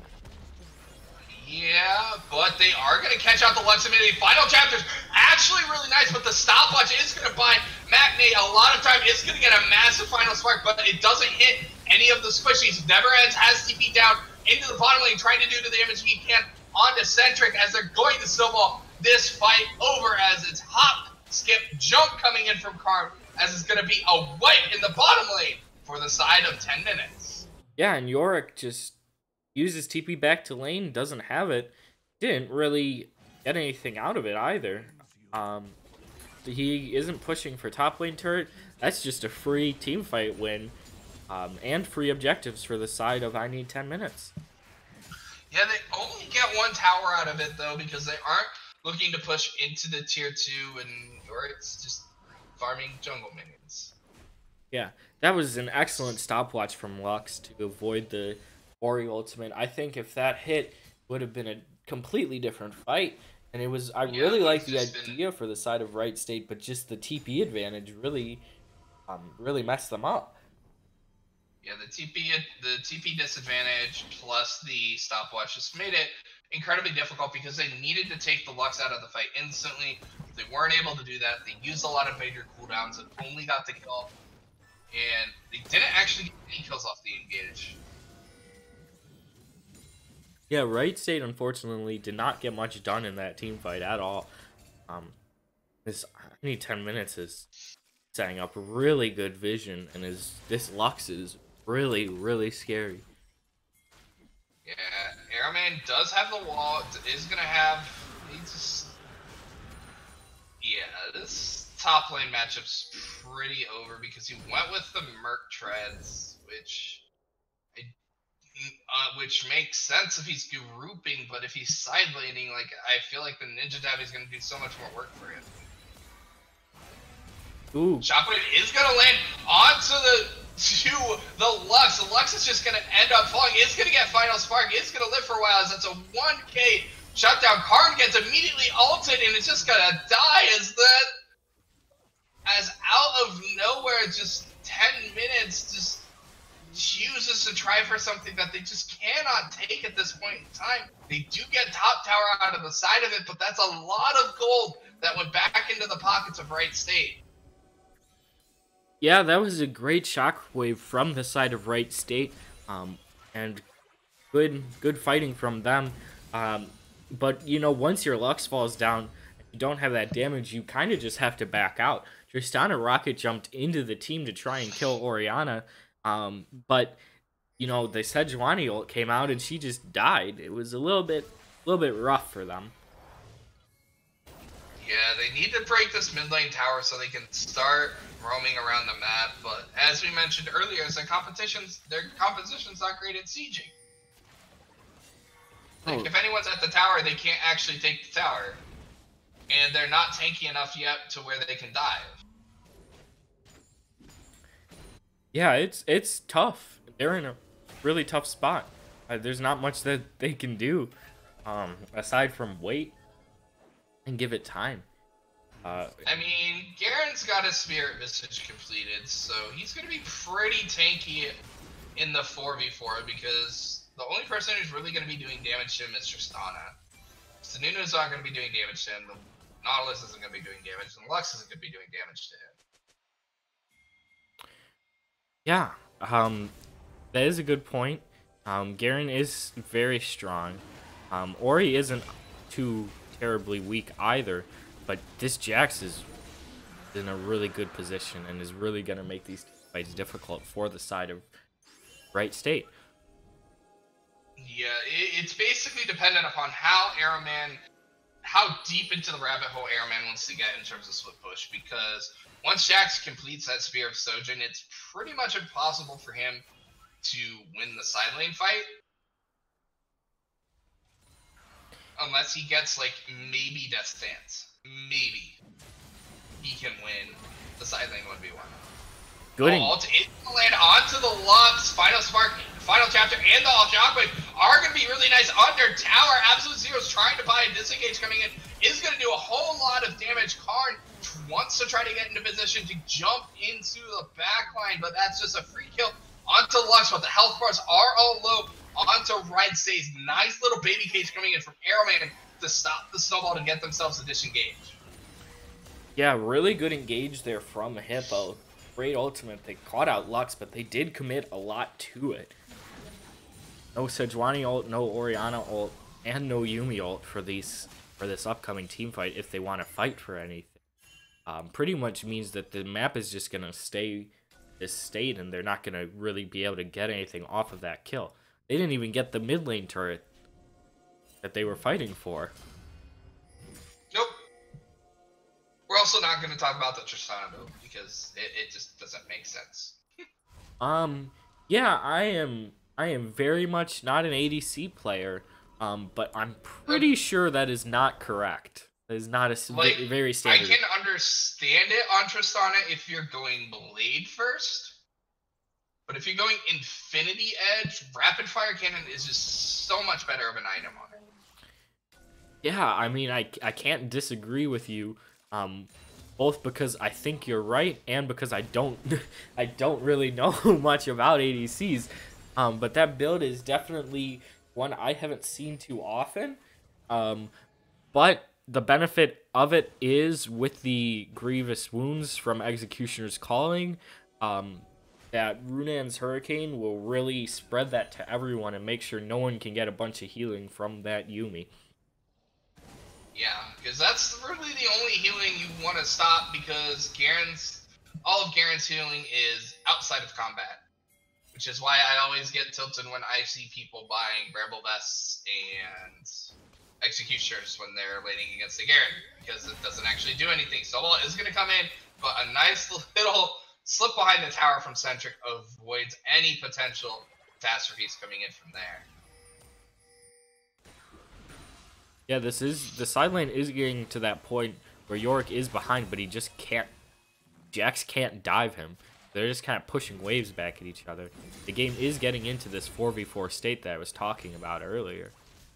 Yeah, in the Immortal Worlds of LS is there at a natural state of ping pong. Yeah, I mean that's exactly right. They're just kind of waiting. They're, we got our 4v4 ARAM coming up. Um, Jax is gonna have a really difficult time running up because of that control ward from the side of Wright State. So we're just kind of in a 4v4. Yeah, it basically comes down to whether or not Wright State chooses to pull the trigger again, because when you look at the side of 10 minutes, is they really haven't been the ones to make a lot of aggressive plays when they're in this four-man setup. It's been primarily Wright State, as uh, Never Ends is going in with the ultimate, does have the Spear of Soja coming in, is going to get the Counter-Strike cooldown back off again, is going to do so much damage, is going to fall, but Valkyrie has TP'd in, is by himself, does not get to execute damage with the ulti, as Never Ends gets the double kill with the help coming in from Big Z's. However, Karn is going to try, almost get caught out by Hippo. White Lightning is going to land on the back side, so it's a two for O trade in the bottom lane, which means a free push coming in from 10 minutes. Hippo, why are you passing there? You do not have any support here. Centric's going to get immediately shot, immediately engaged on Final Spark coming in from the backside. Is going to secure a double kill essentially for the side of right of 10 minutes as Wright State is going to lose the team fight and multiple towers on the backside of it. Yeah, that's just that's just disaster for the side of Wright State. Garen teleported into the bot lane, um, but he didn't have Yuumi with him and wasn't able to kill the Jax. And now, I need 10 minutes, gets the ace, and is just gonna get a free Baron off of it. Yeah, and that's most likely just going to be the game from 10 minutes, assuming they perform the siege composition properly, because there's not enough wave clear on the side of Wright State to really maintain against the Baron Bush, because the only person with reliable wave clear is Orianna. Yeah, and with the double uh, oceans from the side of I need 10 minutes, any poke that comes out from this Yuumi or Orianna will be able to be healed up very easily. It will make it very, very difficult for Wright State to find anything against I need 10. Yeah, I mean, a lot of things can happen with the way these team fights are going, but on paper, like 10 minutes, this is their game to lose. Like, they have so many advantages. Centric's down two levels in the mid lane, they're down two levels in the bot lane, two levels in the jungle. They're just down so many levels across the board that it's going to make it incredibly difficult as the only person who's even on level is the Yuumi. Yeah, and I mean the Yuumi, while being an important part, um, having her not behind and everyone else is isn't gonna make you win a team fight. So it is definitely very very difficult for any ten minutes to be able to do anything. Um, they are just gonna sit mid lane with Orianna wave clearing for a while and should be in a fine spot. Yeah. We'll just have to see how. Oh, but that is a deadlock. Yes, yes, it is. That is a very deadlock. Um, I don't think they needed to commit the Orianna ult there. Um, it definitely helped, but not having that for this upcoming fight is going to be a little tough. Yeah, because they're missing all their crucial ultimates aside from the Garen ulti, which really doesn't do much in a team fight for you. Yeah, I mean, Garen ulti is really great. Um, it's it's okay in the team fight, but that Orianna ult, not having that is really gonna hurt them. They're just getting sieged to death right now because they don't have enough wave clear.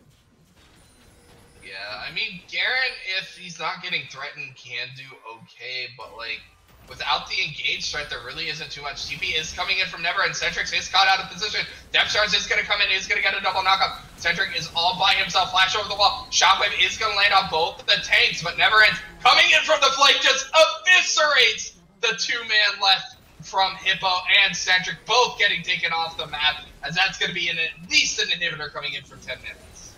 Yeah, excellent flank there from Never Ends, getting the sun off onto the key members they should be able to just walk this down with Baron, but instead they are going to look for mid lane. Uh, they could have tried to end the game there. Definitely, they definitely could have tried. Um, I mean, Garen has ult and has Yuumi, but that's a that's not too much when you have five people on your team that are ready to kill people. Yeah.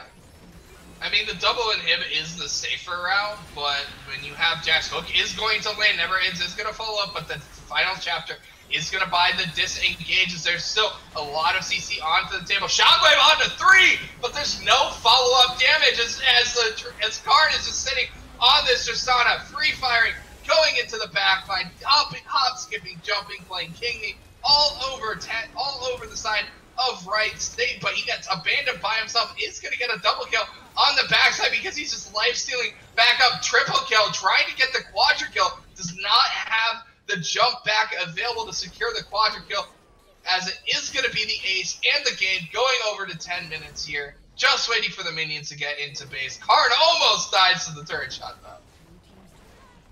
Yeah, I, this was excellently played I Need 10 minutes. They used their engagers when they could. They took their side lane fights when they needed to, and they just didn't let Yorick do anything this game at all. Yeah, the Yorick pick was really the crux of the game, and it did not have much of an impact on the game. Yeah, he sat in the side lane and farmed, but in comparison to what the Jacks contributed over the course of the game, it was just a night and day difference between the two teams. Yeah, that Jax had a surprise, or not even surprising, but he just had a 3k gold lead over everyone else on the enemy team. Um, he was very, very terrifying. It was not something you would want to deal with on a daily basis. Not, not, not fun. Definitely not fun to play against a Fed Jax once he's got Spirit Shojin. No. no, that is very low on my list of things I want to play against in solo. Yeah, I mean, and Orianna still played okay there. Um, would have liked to see more vision to keep her safe in the mid lane. Um, but Lux was just able to roam and get kills elsewhere aside from just in mid lane and was able to put so much pressure onto the map with ult. With that being said, we are going to cut into a short break, but we will see you right back here for game three.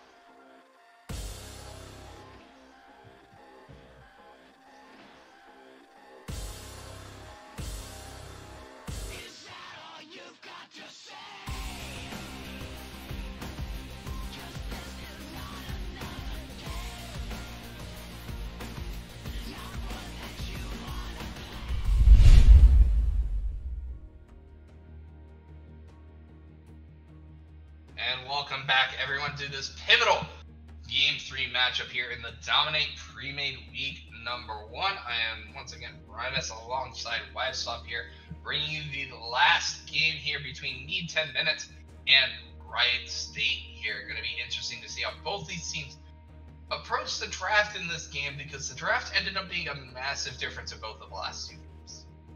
Yeah, very different drafts. Um, outside of a few picks like the Orianna, um, in these first and second games, strong top performances from the side of I Need 10 Minutes. Both of them definitely was a huge factor in their win in the last game. It's interesting to see Wright State Raiders not prioritize getting their top laner or banning anything from the enemy top. Yeah, but the thing is that most teams aren't going to be looking to pick up their top laner in their first phase. It's generally going to come in the second phase, unless they're playing one of the OP flex picks. That is. So it's not. Su- that's fair. So it's not surprising to see them not throw any specific bans. Um, but it's interesting to see the Kai'Sa being first picked, as we are seeing Morgana, Jarvan, and Illaoi being banned from the side of and Net, and then at Syndra, Nunu, and Thresh being on the other side. And I, I, do think it's good that Wright State's going back to the Caitlyn. They found success with it in game number one. It wasn't the biggest reason why they game won game number one, but it was a big part. Yeah, Caitlyn definitely was very scary and helped neutralize that bot lane in the first really gonna have to look towards these jungle picks because two best performing junglers of the past two games, the Jarvan and Nunu, aren't gonna be picked. It does look to be the Karthus jungle. Um, could always be playing, but nope, nope. It's not Karthus. Huh. It was supposed to be Xayah Rakan apparently. Interesting. For, yeah, the first two picks are not Caitlyn Karthus, they are Xayah Rakan. Dear Lord. Sometimes I wonder how people get out of bed. I mean, it's whatever. Um, it doesn't change the draft at all because they picked him at the same time.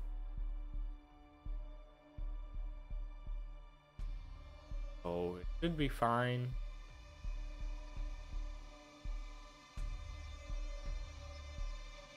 Interesting poppy pick. That's some. I don't know. I don't know what's going on at this point. I'm, I'm just kind of keeping an eye on chat to see if anything else comes up because one of the teams was not very happy about that.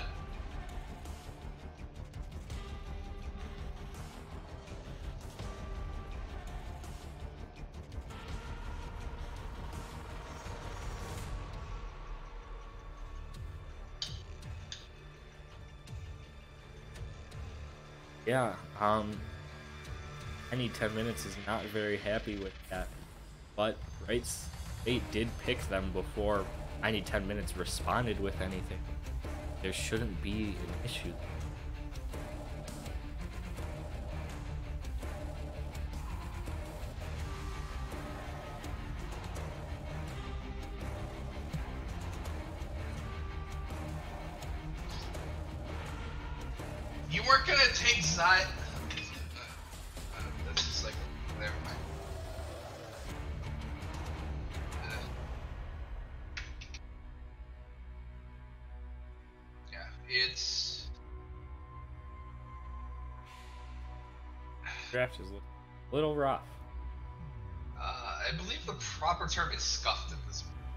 Yeah, I mean, it is definitely scuffed. You are not wrong. Because there's not really anything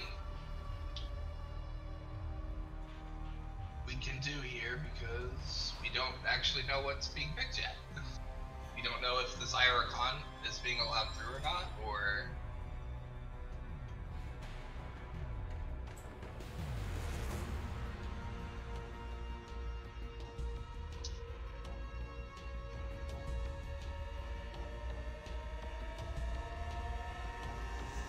Yeah, that ban wasn't notified till. Not all as bad as a gal.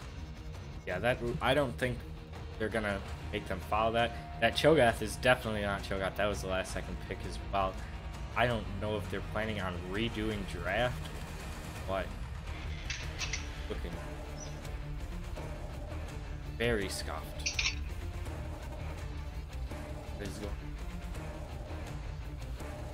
Draft has slowly devolved into chaos.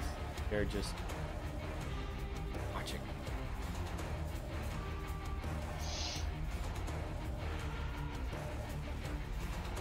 Both teams are okay with a redraft, so it looks like that will be... that was very soft.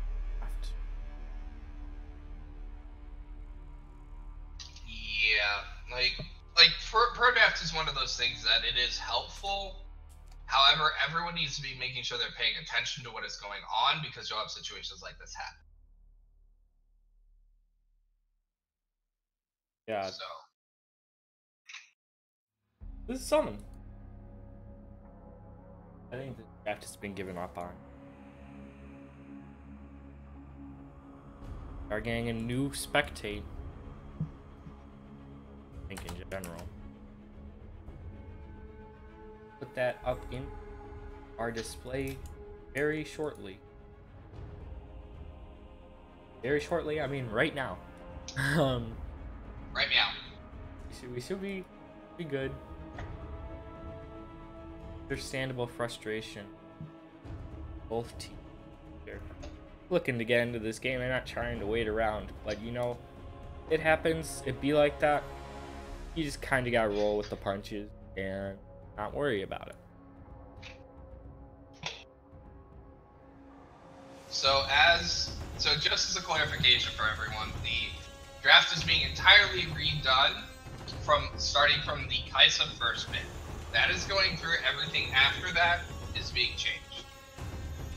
Yes, that is that is correct.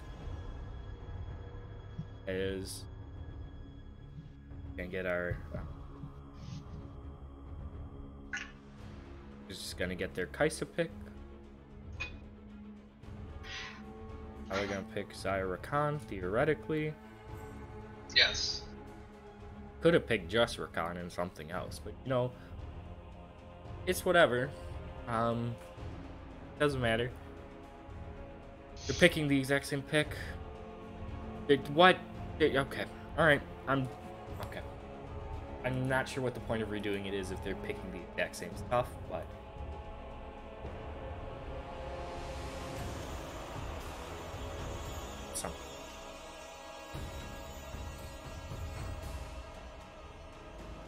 Curious thing is, I'm wondering where everything's going to end up going because is this going to be a Poppy jungle? Is this going to be a support Poppy?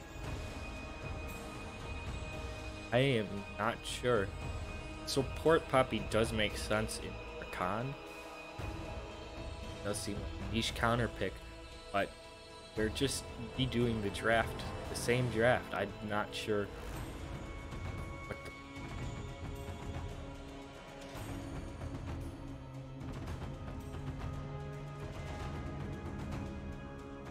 ever.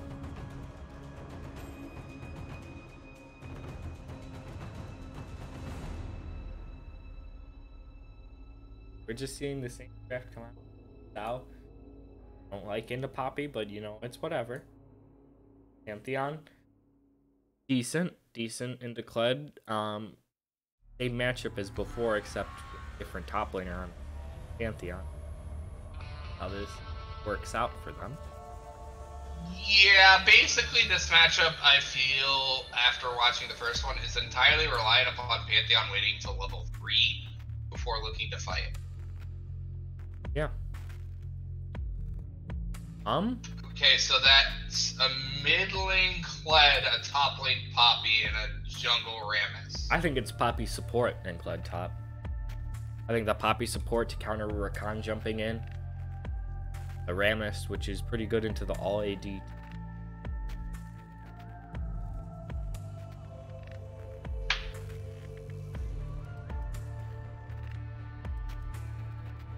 Okay, so it is Poppy support. They just decided to flip and pick Rammus before picking the Ahri.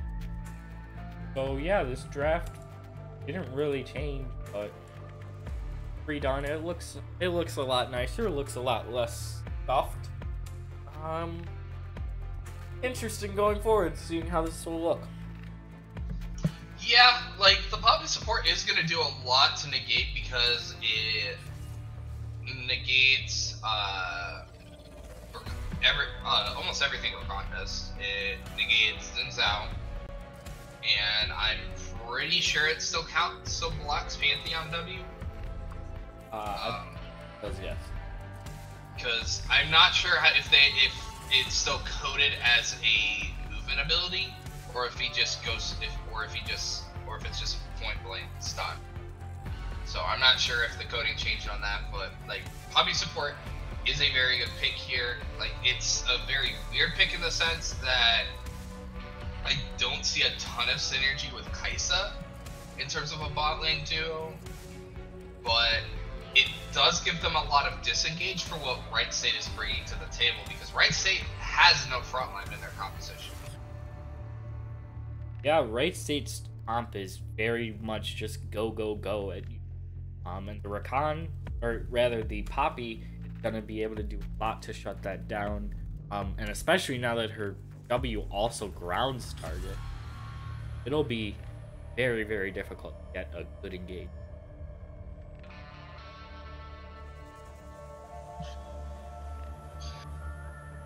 Yeah, it, it's going to be interesting to see how things play out in this game. Yeah, I'm just. Both these drafts are very unconventional, and I'm trying to think of how these are going to work out, but I'm not entirely sure. Wright State Raiders has a little bit of people, Sandra Old and ult, um, but they don't have much outside of engage. Um, I need 10 minutes. Doesn't. Well, I need 10 minutes has more engage and just. Um, but they're just they're just interesting comps. Um, Rammus can't really do anything besides haunt someone. Um, so I'm and not. sit there and tank the entire team's worth of damage because Lissandra's not going to kill Aramis. Yeah, yeah, you definitely, definitely won't. Um, but if your Rammus is just in there chilling and the rest of your team is dead, not gonna work out too. Yeah, but that's what the Poppy's for. That's fair. That's fair. Yeah, Rammus just engages and Poppy keeps everyone else safe.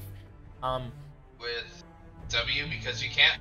You also have to understand that the uh, Poppy W is also a grounded effect as well. So like if someone gets knocked up by the W, they are also slowed and they can't use another dash. yeah, um, it'll be interesting how Rammus performs because him he has this thing I like to call speed syndrome, um, where he forgets that everyone else can't catch up to him. So it's very easy to roll into someone and talk them, and then realize your team is still a half screen away, um, and you kind of just die. Now, I need 10 minutes. Did play Hecarim, who has a very similar problem that can happen, um, and that didn't happen then, so I don't think it will happen here. But is um, is very very concerning that Rammus might just kind of kind of roll in there on his own and then just not have any fun. I mean, he has the Kled, he has the RA, he has follow up with Karn's Kai'Sa if they want to fully commit. So like he does have follow up when he goes in. That's fair. He does have some long range follow up that should help him.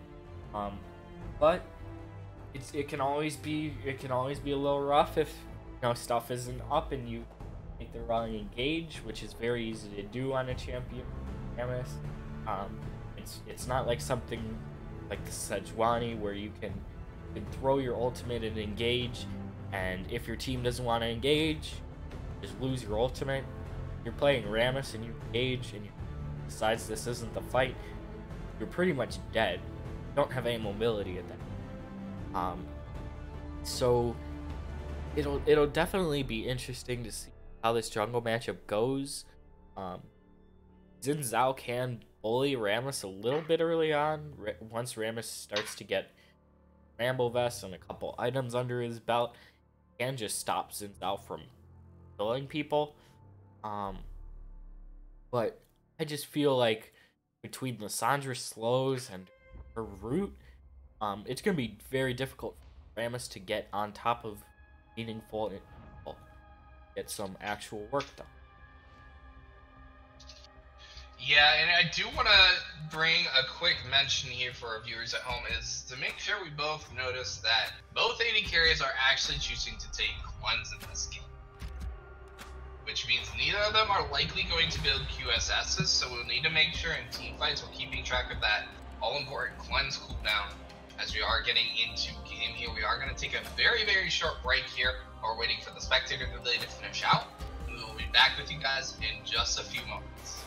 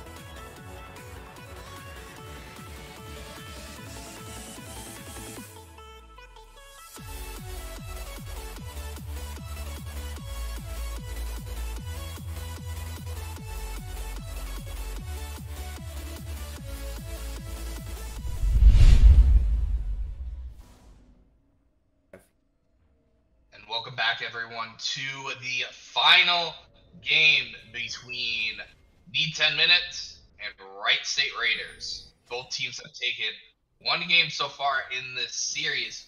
Wright State is back on the red side, which they won in a come behind game number one, while in the last game, a strong early game, strong early to mid game performance coming in from the side of need 10 minutes allowed them to push this to an all important game number three here. Once again, I am Primus alongside Wife Swap here. We got a lot of interesting things coming into this game here. What's jumping out in to you um, looking between these two teams here? Um, Tyson did start Doran's a little bit interesting. Xayah does output a, a decent amount of damage early on but I'm not sure it warrants that. Um, and then the lethal tempo on Kai'Sa as well is a little bit question. Yeah, like I, I can understand why you would take it, but I just think objectively for Kai'Sa specifically, PTA is just better. Yeah, I I agree with you. I mean, with the way her passive works and everything, it just gives you a lot of damage. I feel like Kai'Sa's a little bit more burst burst orientated than the lethal tempo um Warren. Yeah, because she's she's essentially all about proccing her passive, and lethal tempo just like kind of help doing that, but you like you don't need the extra help doing that. You, you just need to have that extra little bit of damage. Just bot lane's gonna be very interesting to see how it plays out because I'm curious to see how much Poppy support Depressed has actually played to see actually how comfortable he is on this pick because this is a specific counter pick into the Xayah lane. Yeah, definitely. Poppy's support is definitely just something used against the Rakan to stop the stop the engage. Zhao is looking for a gank mid lane here. Doesn't have red buff. Yeah, doesn't have red buff. Isn't going to be able to get anything out of out of Maknae. So just going to be interesting to see how things play out in the early game because if you are Wright State, you definitely need to be pushing the tempo of this game and making plays because you lack a true front line and you have a lot less ability to play in side lanes because you don't really don't want your Lissandra matching against the Kled. Yeah, Lissandra versus in the side lane would definitely not be great. Pantheon is getting decent amounts of poke down onto Kled. Um, hasn't died by three minutes, so definitely better than the Pantheon in the first game. Definitely an improvement there. Uh, was just farming, Rammus is just farming, and we're having a pretty chill game to start this out for me. Yeah, Pantheon's off to a much better start this game, so going to be curious to see how um, that top lane match plays out in this game as opposed to last as to the last time we saw this matchup. As neither jungler's really been able to do anything quite yet, both are just kind of farming their way through the camps, which kind of benefits Rammus more than Xin Zhao. Because you have you have to feel like Xin Zhao's on a very hard timer to make things happen. Yeah, Xin Zhao is absolutely an early game jungler. Definitely wants to get something done. Um, isn't as cheese orientated as someone like a Camille or a Twitch, but really needs to get stuff working. Yeah, they are going to get the top of the immediate cleanse coming in. Nice use of the steadfast presence is going to buy a little bit of additional time, but a lot of trade damage is going to go back onto the depressed artist if there's not going to be enough damage coming in to secure the kill. But that is cleanse and ignite down for the bottom lane, Wright State. Yeah. Ooh, but the root is going to land. Cleanse is not going to matter I guess there's a knock of depressed artist. Should fall here. Last auto going in over to the Rakan as it's going to be a 2v3 outplay coming in from Wright State, getting them that early game advantage in that bottom. Yeah, uh, just a little bit of an overstep from the side of I need 10 minutes. Now is looking for this oh, Rammus. Big Z's really, really low.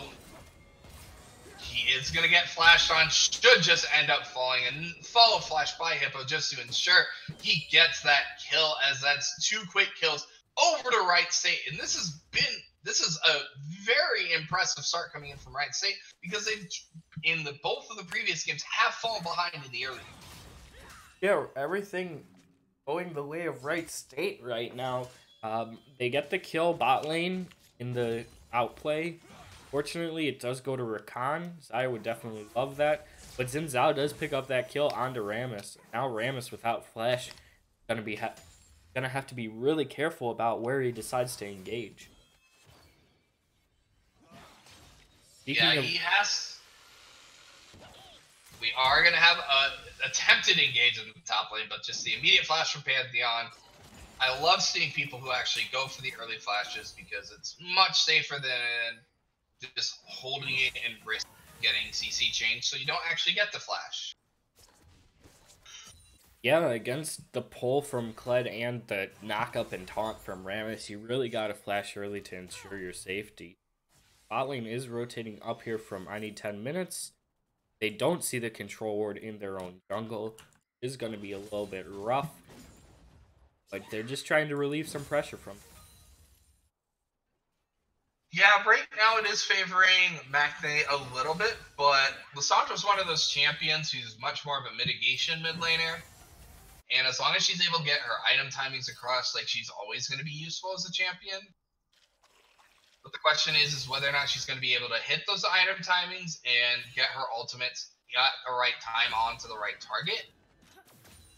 Because we have to remember that Karn has that cleanse, so if he uses that Lissandra ultimate when cleanse is available, that's just a way to an ultimate. Yeah, Neverends is taking a couple rough trades here. Um, I think he's still thinking back to that first game and how well that went for him. He's playing a little bit more aggressive than he needs to. But nothing big is happening. He was gonna back anyways, so that's all fine. Zhao is on the dragon right now, but is standing directly on a ward. Which is funny because they have control wards on either side. They don't have one to see the ward there, but the bot lane's not in a position to follow up. Big Z is able to disengage. Maknae is here. It does have the ultimate. Is going to flash out as a nice wall stun coming in. Ultimate is going to come in from Centric. TP is coming in from Never Ends, but he is in all by himself. Featherstorm is going to come in and buy so much time. Card should get auto to death, but never ends. Is going to be able to get one kill on the backside. Does have the bear trap on the rope onto Valkyrie. Can he get the last auto off? No! Hippo comes in, saving his AD carry, turning the fight back in the favor of the side of Wright State. Yeah, Kai'Sa almost sniped him on the end of that ordeal, but Kled uses TP, uses ult, uses flash, isn't able to get the kills. So that really hurts him in the the lane as well, because now he's down CS. He is down CS, but he did get one kill out of it. Oh, so in terms of in terms of raw gold, he's equal still. But the question, oh, that's a dead Kai'Sa. Okay, now he's not as equal in gold.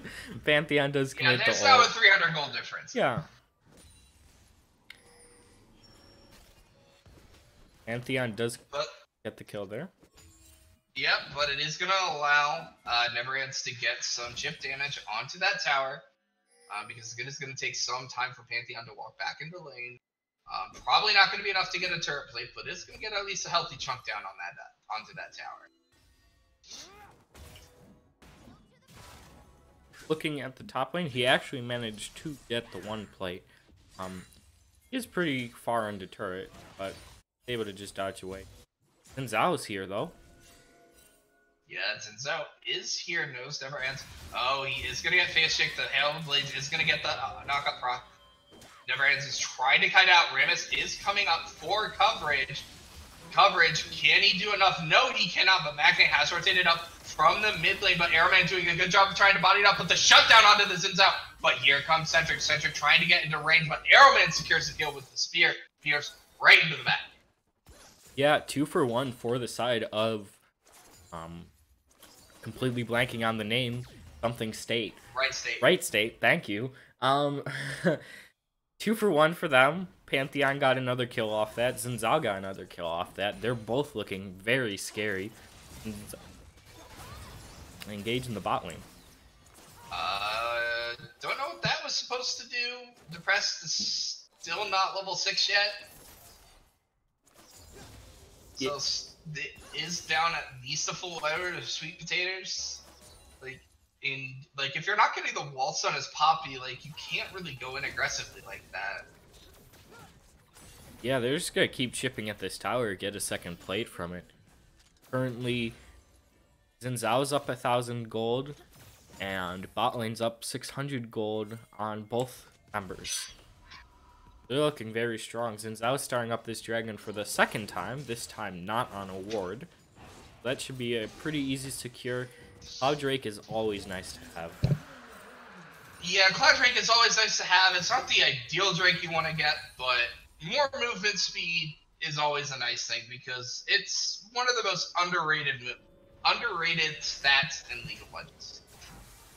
Yeah, and especially when your engage is the Rakan, um, having that extra movement speed to be able to catch people with the quickness always good to have.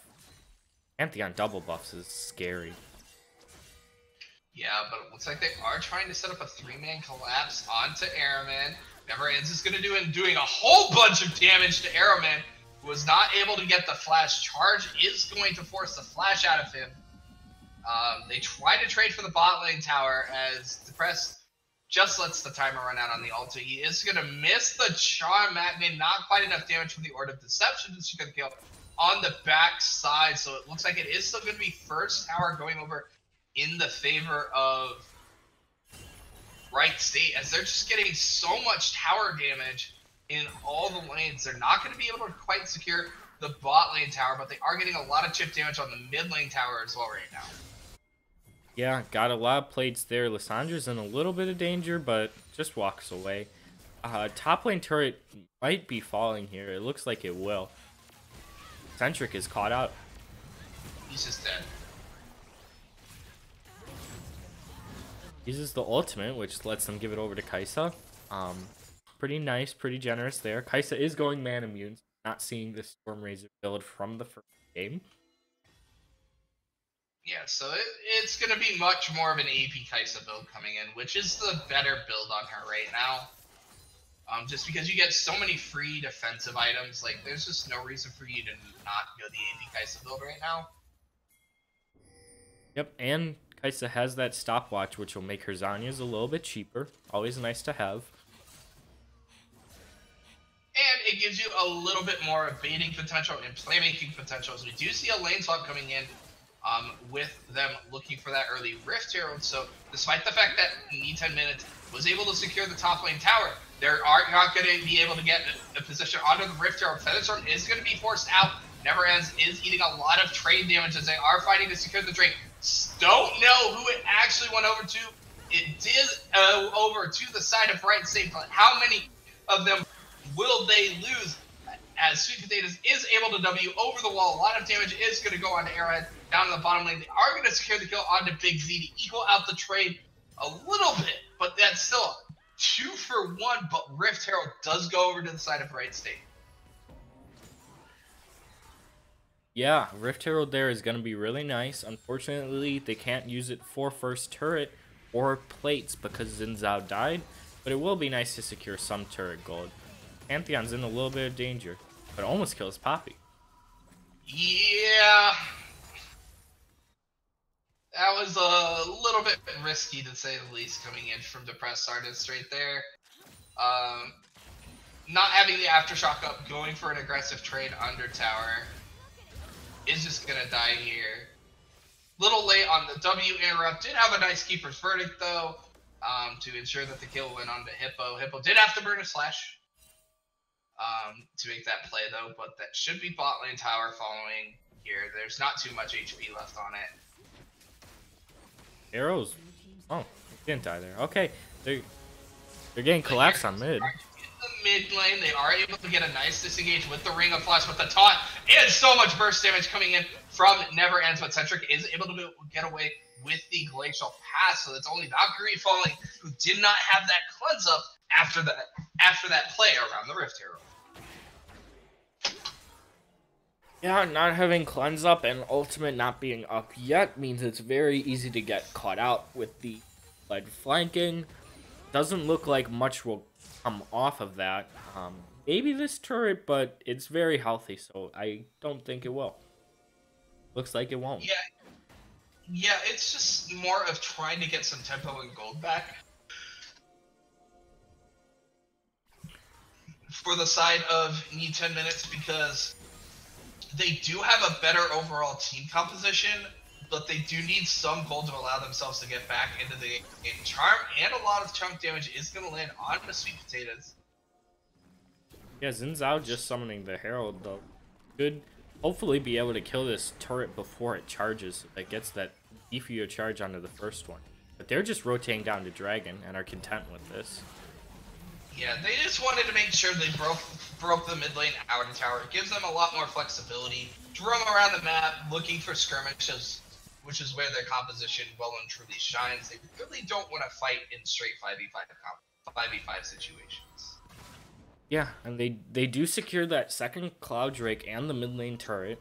currently sitting at about a two and a half ish gold lead. Um, Pantheon's looking pretty healthy. Xin Zhao's got a lot of gold on him. Um, Lissandra's up about 500 as well. All across the board, aside from the top lane, actually. Um, Wright State is ahead in gold. Kled does have an 800 gold lead for himself, but he is going that Ghost Blade build again. And I mean, again, it's slightly understandable because there's no true frontline on the side of Wright State. But like again, I would still prefer still prefer to see um, more tanky items because you are the primary like HP frontline. Like yes, Rammus will be very tanky due to his passive and the amount of armor he has. He's not going to be like super tanky until he gets his first HP item because that's when Cinderhulk becomes well effective. Is once you build your first item, first HP item, that's when it becomes gold efficient as an item. They are gonna try to jump onto Never Edge. It's gonna use the charge to disengage.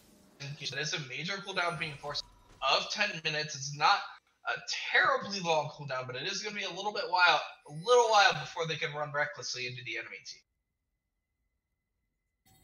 Yeah, they do just kind of uh, force those cooldowns out, which is always good. They are pressuring towards this top side, but there's not really anything up. Not really any objectives on the map. Baron's not up for two, Dragon's not up for three.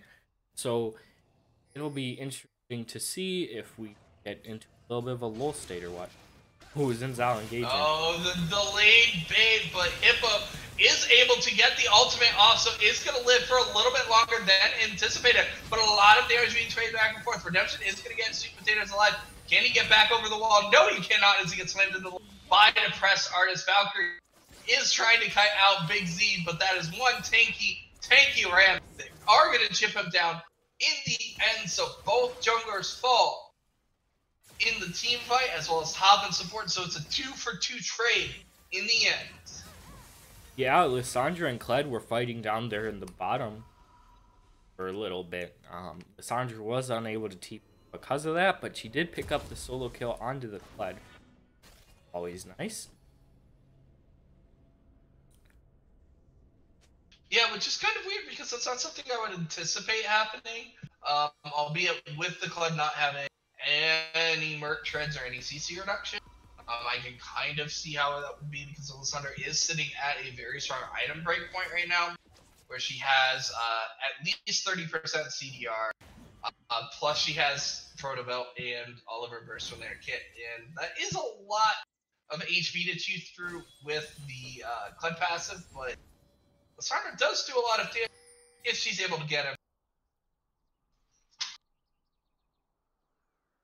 Yeah, and they're looking for the Kled again.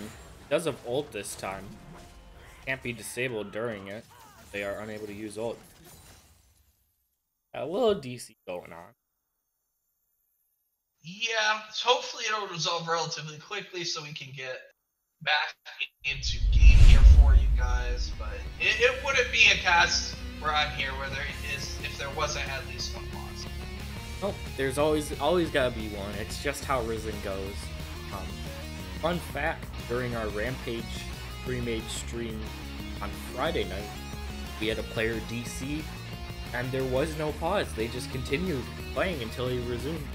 So it's good to see that these dominate pre-made teams read the rules a little bit more, understand how they work, and do use that pause so that they don't get at a disadvantage.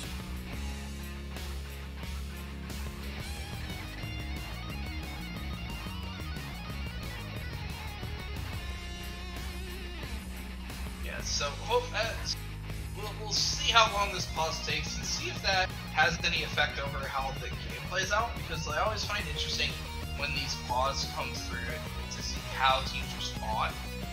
Um, because uh, what I would like, what I like seeing from teams is teams that come out with a concrete plan out of the pause and they look to execute it on immediately because teams might not necessarily be ready for something immediately after coming back out of the pause.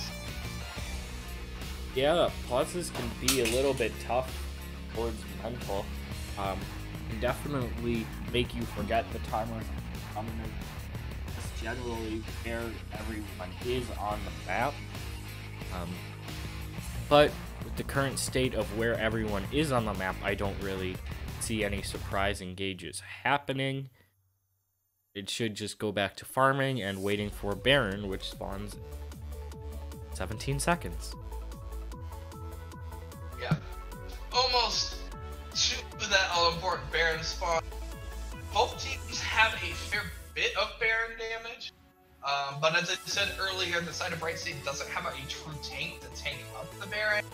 So any attempt that they make to try to do the Baron is going to be a little bit suspect because they don't have that stable front line to effectively tank the damage. Yes, Arrowman does have his E to tank for a little bit, but everyone on their team does Baron DPS outside of the Rakan, and the Rakan's not going to have that big of a health bar. Yeah, I mean, you you hit that right on hit that nail right on the head.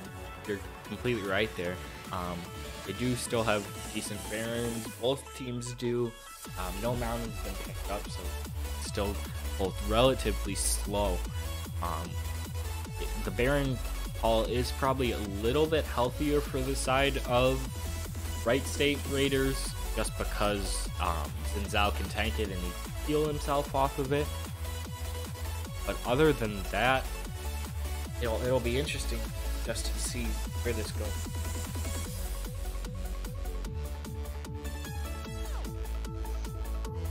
So just as a little update, um, just waiting on I'm assuming a PC restart to come through for their for the support on the side of 10 minutes. So once that happens, we'll get back into the game for you guys. So, as you mentioned, we're almost at 20 minutes into the game.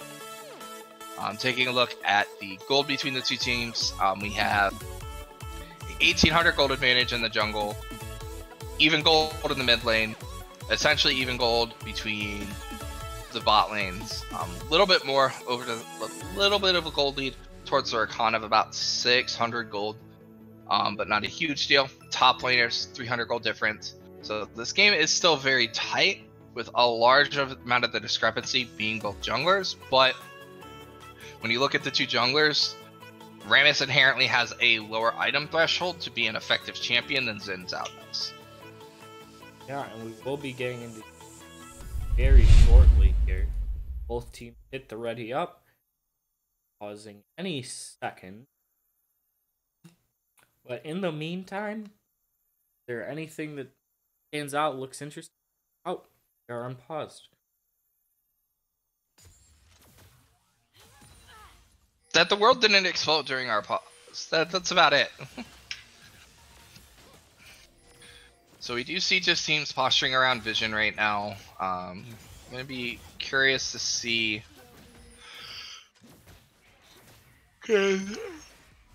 Court, I'm assuming it's basing for Rageblade right now, which is a very important item spike. Nice Charm is going to get a lot of damage onto Hippo, but the Follow Flash onto the Spirit Rush is going to do a lot of damage. That is going to give them Baron side control while Centric does have that TP available and is continuing to push in the bottom lane.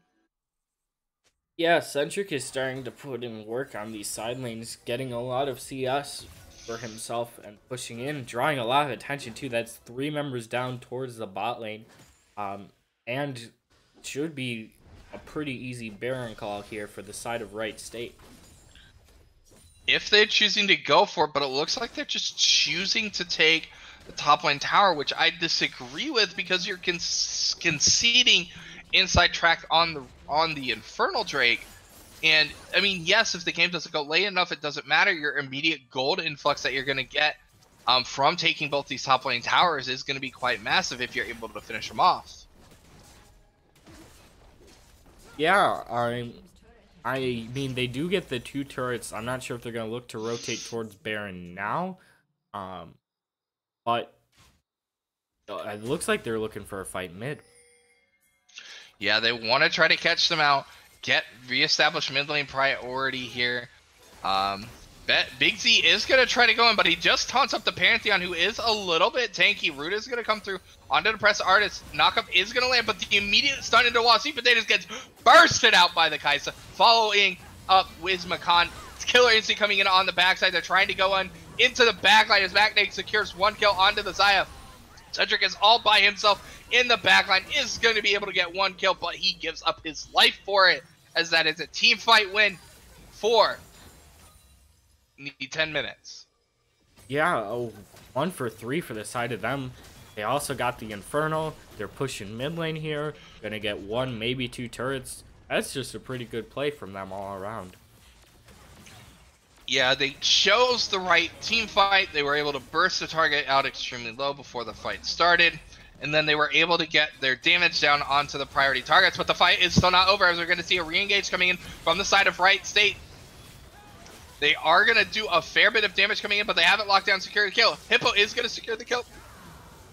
Onto Karn on the backside, and the snipe coming in from the side of Arrowman, but Arrowman is going to fall as it's going to be a triple kill in the end, and Never Eccentric has TP'd in from base, is going to try to provide the CC down so Valkyrie can try to secure the kill. Big Z has respawned as well, as these fights just do not want to stop, as I believe in the end that was a 3 for 3 re-engaged play coming in between both teams. Yeah, Lissandra unfortunately didn't have ult to stop the Kled. Um, Kled did pick up nice kills for himself. But they do end up getting advantage towards the side of Wright State just because they killed the people later on, so they're they're down for longer. But it's really just posturing towards this Baron. We've got good vision from Wright State that is set up in that area. Is really just trying to choke them out. So he's doing the build again. Who's doing? And Oh, he's oh, okay. I'm not sure how I feel about that. Actually, I am sure I how mean, I feel he- about that. It's not good. I mean, if he's split pushing, like I can I can understand it a teeny tiny bit, but if he's looking to be their deep fight engaged, it is not an optimal. But here comes the spear. A charm is gonna get is going to land onto Valkyrie. A nice little re-engage by Sweet Potatoes is gonna buy a little bit of time, but the killer instinct goes into the backside of Sweet Potatoes is gonna fall. Never ends getting engaged on him on the other side of the map. It is going to fall as it's a one for one so far across the map with neither team really getting a true advantage. yeah, and Lissandra does still have ultimate up, so there it's used. They We're uh, gonna going to get the catch damage. onto Big Z, but the Charm is going to buy a little bit of time. But Hippo on the flank is going to be able to lock down to secure that kill, turning it a two for one. With the jungler being dead, they can potentially look to do the Baron, but they do not have vision control of it. Yeah, Kai'Sa does just recall, so this should be pretty safe for the side of Wright State. Rammus isn't up for 20 seconds. Not sure how much damage Ahri can do. She does have ultimate up, but CP That is available on the Kled. Light does TP in, yeah. He is coming in as there is a large engage onto Maknae. Is going to take a lot of damage. Never ends in the middle of the team, but he just doesn't do enough damage. Depressed Artist is going to secure the kill on the Centric, but he is going to trade his life for it as Never End just TPs into his death. As that has to mean Baron coming in for the side. A little snipe coming in from Arrowman. Arrowman has been on point with those spears. Yeah, they should check. You should rename it Spearman after that. That was pretty well done. The blind snipe there gives him more control over Baron. Rammus is very far away. Don't think he can contest this. Nice little killer instinct to buy a little bit more space, but Karn's just not going to survive. But he does buy a little bit more time of Baron. Rammus is alive, but does not have flash. They keep going back to the Baron rather than just finishing it. Yeah, I think at this point there's nothing Rammus can do. By the time he gets there, they'll probably be gone. They are taking it relatively quickly. Got a lot of feathers to pull. But they don't know where Rammus Yeah. is. Yeah, there doesn't look like they're. Oh, but the charge is coming in, and they're not gonna get the Baron. But the Baron is still leashed. No, okay, so te- it, it is still leashed. It's still hovering at about 3k. Has not reset. Looks like it is just finally resetting. So, team sat around Baron for about 90 seconds, and neither team decided to uh, actually bite the bullet and finish the Baron. Yeah, I feel like Wright State definitely could have there. They did still have the Xin Zhao ult, so once Kled ults in onto you, you just kind of knock him away and finish finish the Baron. Um, they do decide to go for the safe play and back off, which is understandable. The side of uh, I need 10 minutes is getting the Mountain Drake, which will help them take it out.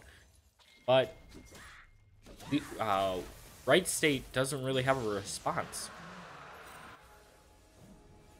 Yeah, and Xayah's sitting on a couple very big items. Doesn't have her Zeal item yet, but does have her big AD items coming through, which is a very big item slate coming in for the for the Xayah. We almost have the Zhonya's completed onto Karn. So both AD carries are becoming quite strong right now. Both mid laners are sitting in a good spot. Keeper's Verdict is gonna knock out Centric, so it's gonna reposition and waste that cooldown. Big Z is doing Rammus things. Yeah, I mean that's what I'm talking about. That just rolling around, just kind of chilling. They're not doing too much. But I mean, it is why everyone plays Rammus. They want that speed. They want to feel like they're they're drifting around and Sonic the Hedgehog. yeah. I mean, definitely. Um, these teams still just fighting over Vision for Baron, not really doing too too much at all. A little little bit a little bit interesting. Yeah, I would like the teams to play the side lanes a little bit more, try to make plays and try to spread the map rather than just continually going to the same objective. Um, this mid lane tower is going to fall extremely low. That's essentially one minion wave push from falling uh, for 10 minutes there. So if if the side of Wright State's able to get a tempo advantage, it can very easily secure that mid lane tier 2 tower, which is going to give them a lot more uh, Baron control because it's a lot farther for the for the side of need 10 minutes to fall back to their base. Yeah, and I mean they are just kind of pushing around. It's pretty much just an ARAM around Baron Pit. They do get the mid lane turret just from the minion wave. Lissandra's pushing a little bit, has teleport in case she needs it. But the side of I need 10 minutes is just kind of looking for a bush cheese right now. Boo-doo, boo-doo, boo-doo, boo-doo, boo-doo, boo-doo, boo-doo-doo-doo. They ruined it.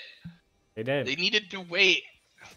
They needed to wait till they got closer before looking for the before fishing for pick CC. Yeah, and this just gives more vision control to the side of Wright State. Bud is now in the bot lane pushing against Lissandra, but he doesn't have teleport. So Lissandra He can does have them. charge, so as long as he can get to the mid lane, he is able to get to a fight. Large chunk of damage is going to go on to Sweet Potatoes. That is going to inhibit him from being able to engage, um, because he does, unless he wants to brim that redemption cooldown, because he's going to pretty much just go in and get insta bursted right now at his current HP value. Yeah, I mean they're just they got to be really really careful. This Xin Zhao, this Rakan are not very tanky at all. They really have to be careful with their positioning if they're trying not to die. Oh, they're just starting up the Baron. They did see a couple backs come through. They're trying to burst this down. Xin Zhao is up, does not have flash available though to get in the pit. TP coming coming in from behind. Grand Skyfall is gonna zone. Nice ulti from Centric. Is gonna buy a lot of time. Depressed artist trying to do what he can in the front line. Big Z trying to do what he can as well. Lots of tank being eating a lot of damage, but it's just not enough. Karn is barely able to escape with the killer instinct and the flash as well as the Zhonya's, but is going to get jumped on by Sweet Potatoes, almost gets sniped out. He's one more auto as Potatoes secures the kill as it is a team fight win in the end for the side of Wright State. A 2 for 0, plus maybe finally the Baron. Yeah, an excellent steadfast or keeper's verdict rather from Poppy um, to knock away some of the members of Wright State, but in the end it didn't matter. Lissandra was able to just teleport and immediately ult, zone everyone off from going that way, and really pinch them into a tough position that they couldn't get out of. So this Xayah has her ultimate, Lens, USS, and now Rakan also has a Mikael's Crucible to make sure that this Xayah can do whatever she wants and not die. I, I- Or anyone on their team for that matter. yeah, I mean that is that's a lot of a lot of um peel, or rather cleanses ish. Because Xayah also does have QSS, so she Right. has cleanse, a QSS, and the Mikael's. Right, and if Uh, and her ultimate. like I, I think that's a tiny bit excessive at that point, but Oh, Neverends is going to face check into the entire Wright State team. So much damage coming through out of this Xayah, as this is going to be at least two kills going over to the side of Wright State, plus the Infernal Drake coming in on the backside, but the Sun is going to go in onto Karn. Knockup is going to miss. Taunt is going to land onto Sweet Potatoes, is going to be able to get out, but they do secure a final kill on the backside. That's a 3 for 0 for the side of Wright State. Yeah, just excellently done team fight there by Wright State. Uh, Kled face checked and they really made him punish. They got everything they wanted. Good quickness from Rakan, good engage from everyone on their team. Solid lockdown, solidly keeping everyone alive. This well played team fight. They have Xin Zhao secure the the Infernal Drake while they're pushing in. And this more than likely looks like a game victory for Wright State. They do have a minion wave being prepped by Hippo in the mid lane. They can potentially look to take one more inhibitor with this Baron buff as they do still have a little bit of time left on it. Yeah, I they still got this Baron looking to siege a little bit, take the red buff from the side of I need 10 minutes. They don't have a wave anymore. Baron should be running out relatively. I think they have one more wave of Baron. Might be, but Ahri is recalling. She completes her Zon. She has no. She's had her Zon. She's just some buy anything. She might have bought a little elixir. Nope. Not sure. Maybe just trying to heal up. Yeah. Uh.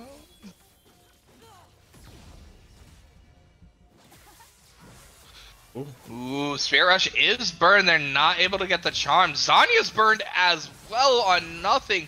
So that's a lot of important cooldowns being blown by the mid laner coming out of need 10 minutes. That should be enough to allow Wright State to force down this inhibitor because they do not have those crucial abilities available on their mid lane.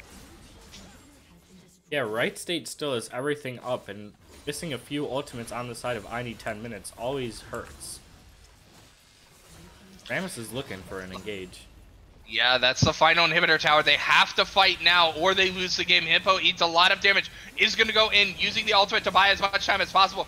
Is going to be still alive with the Guardian Prop. Neverends going in, trying to do what he can. But Karn on the backside is assassinated by Valkyrie. Valkyrie trying to cut out. Nice play. Karn's going to buy a little bit more time. Neverends not quite able to get the kill on the backside as it's a team fight. Ace coming in for the side of Wright State who will take the series 2 to 1. Yeah, excellently done by the side of Wright State in this game. We're able to get a couple leads and really close out this.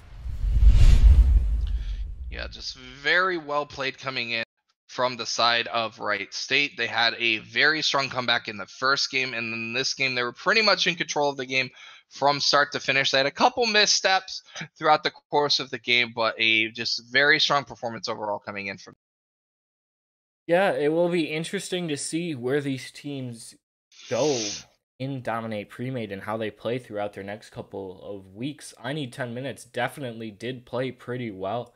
Um, they definitely had chances to get the 2 0 if they closed out that first game a little bit better, but props to Wright State for sticking with it and being able to fight back. Yeah, just well coming in from them. Nothing nothing too unexpected coming in from both these teams as Wright State is going to move 1 and 0 on the season here in the dominate Premade in the first week while unfortunately for need 10 minutes they are going to fall to 0 and 1 there's still a lot of season left to be played. I hope you guys will be along for the ride the rest of the season. I'm primus. He's wife swap you guys have a great night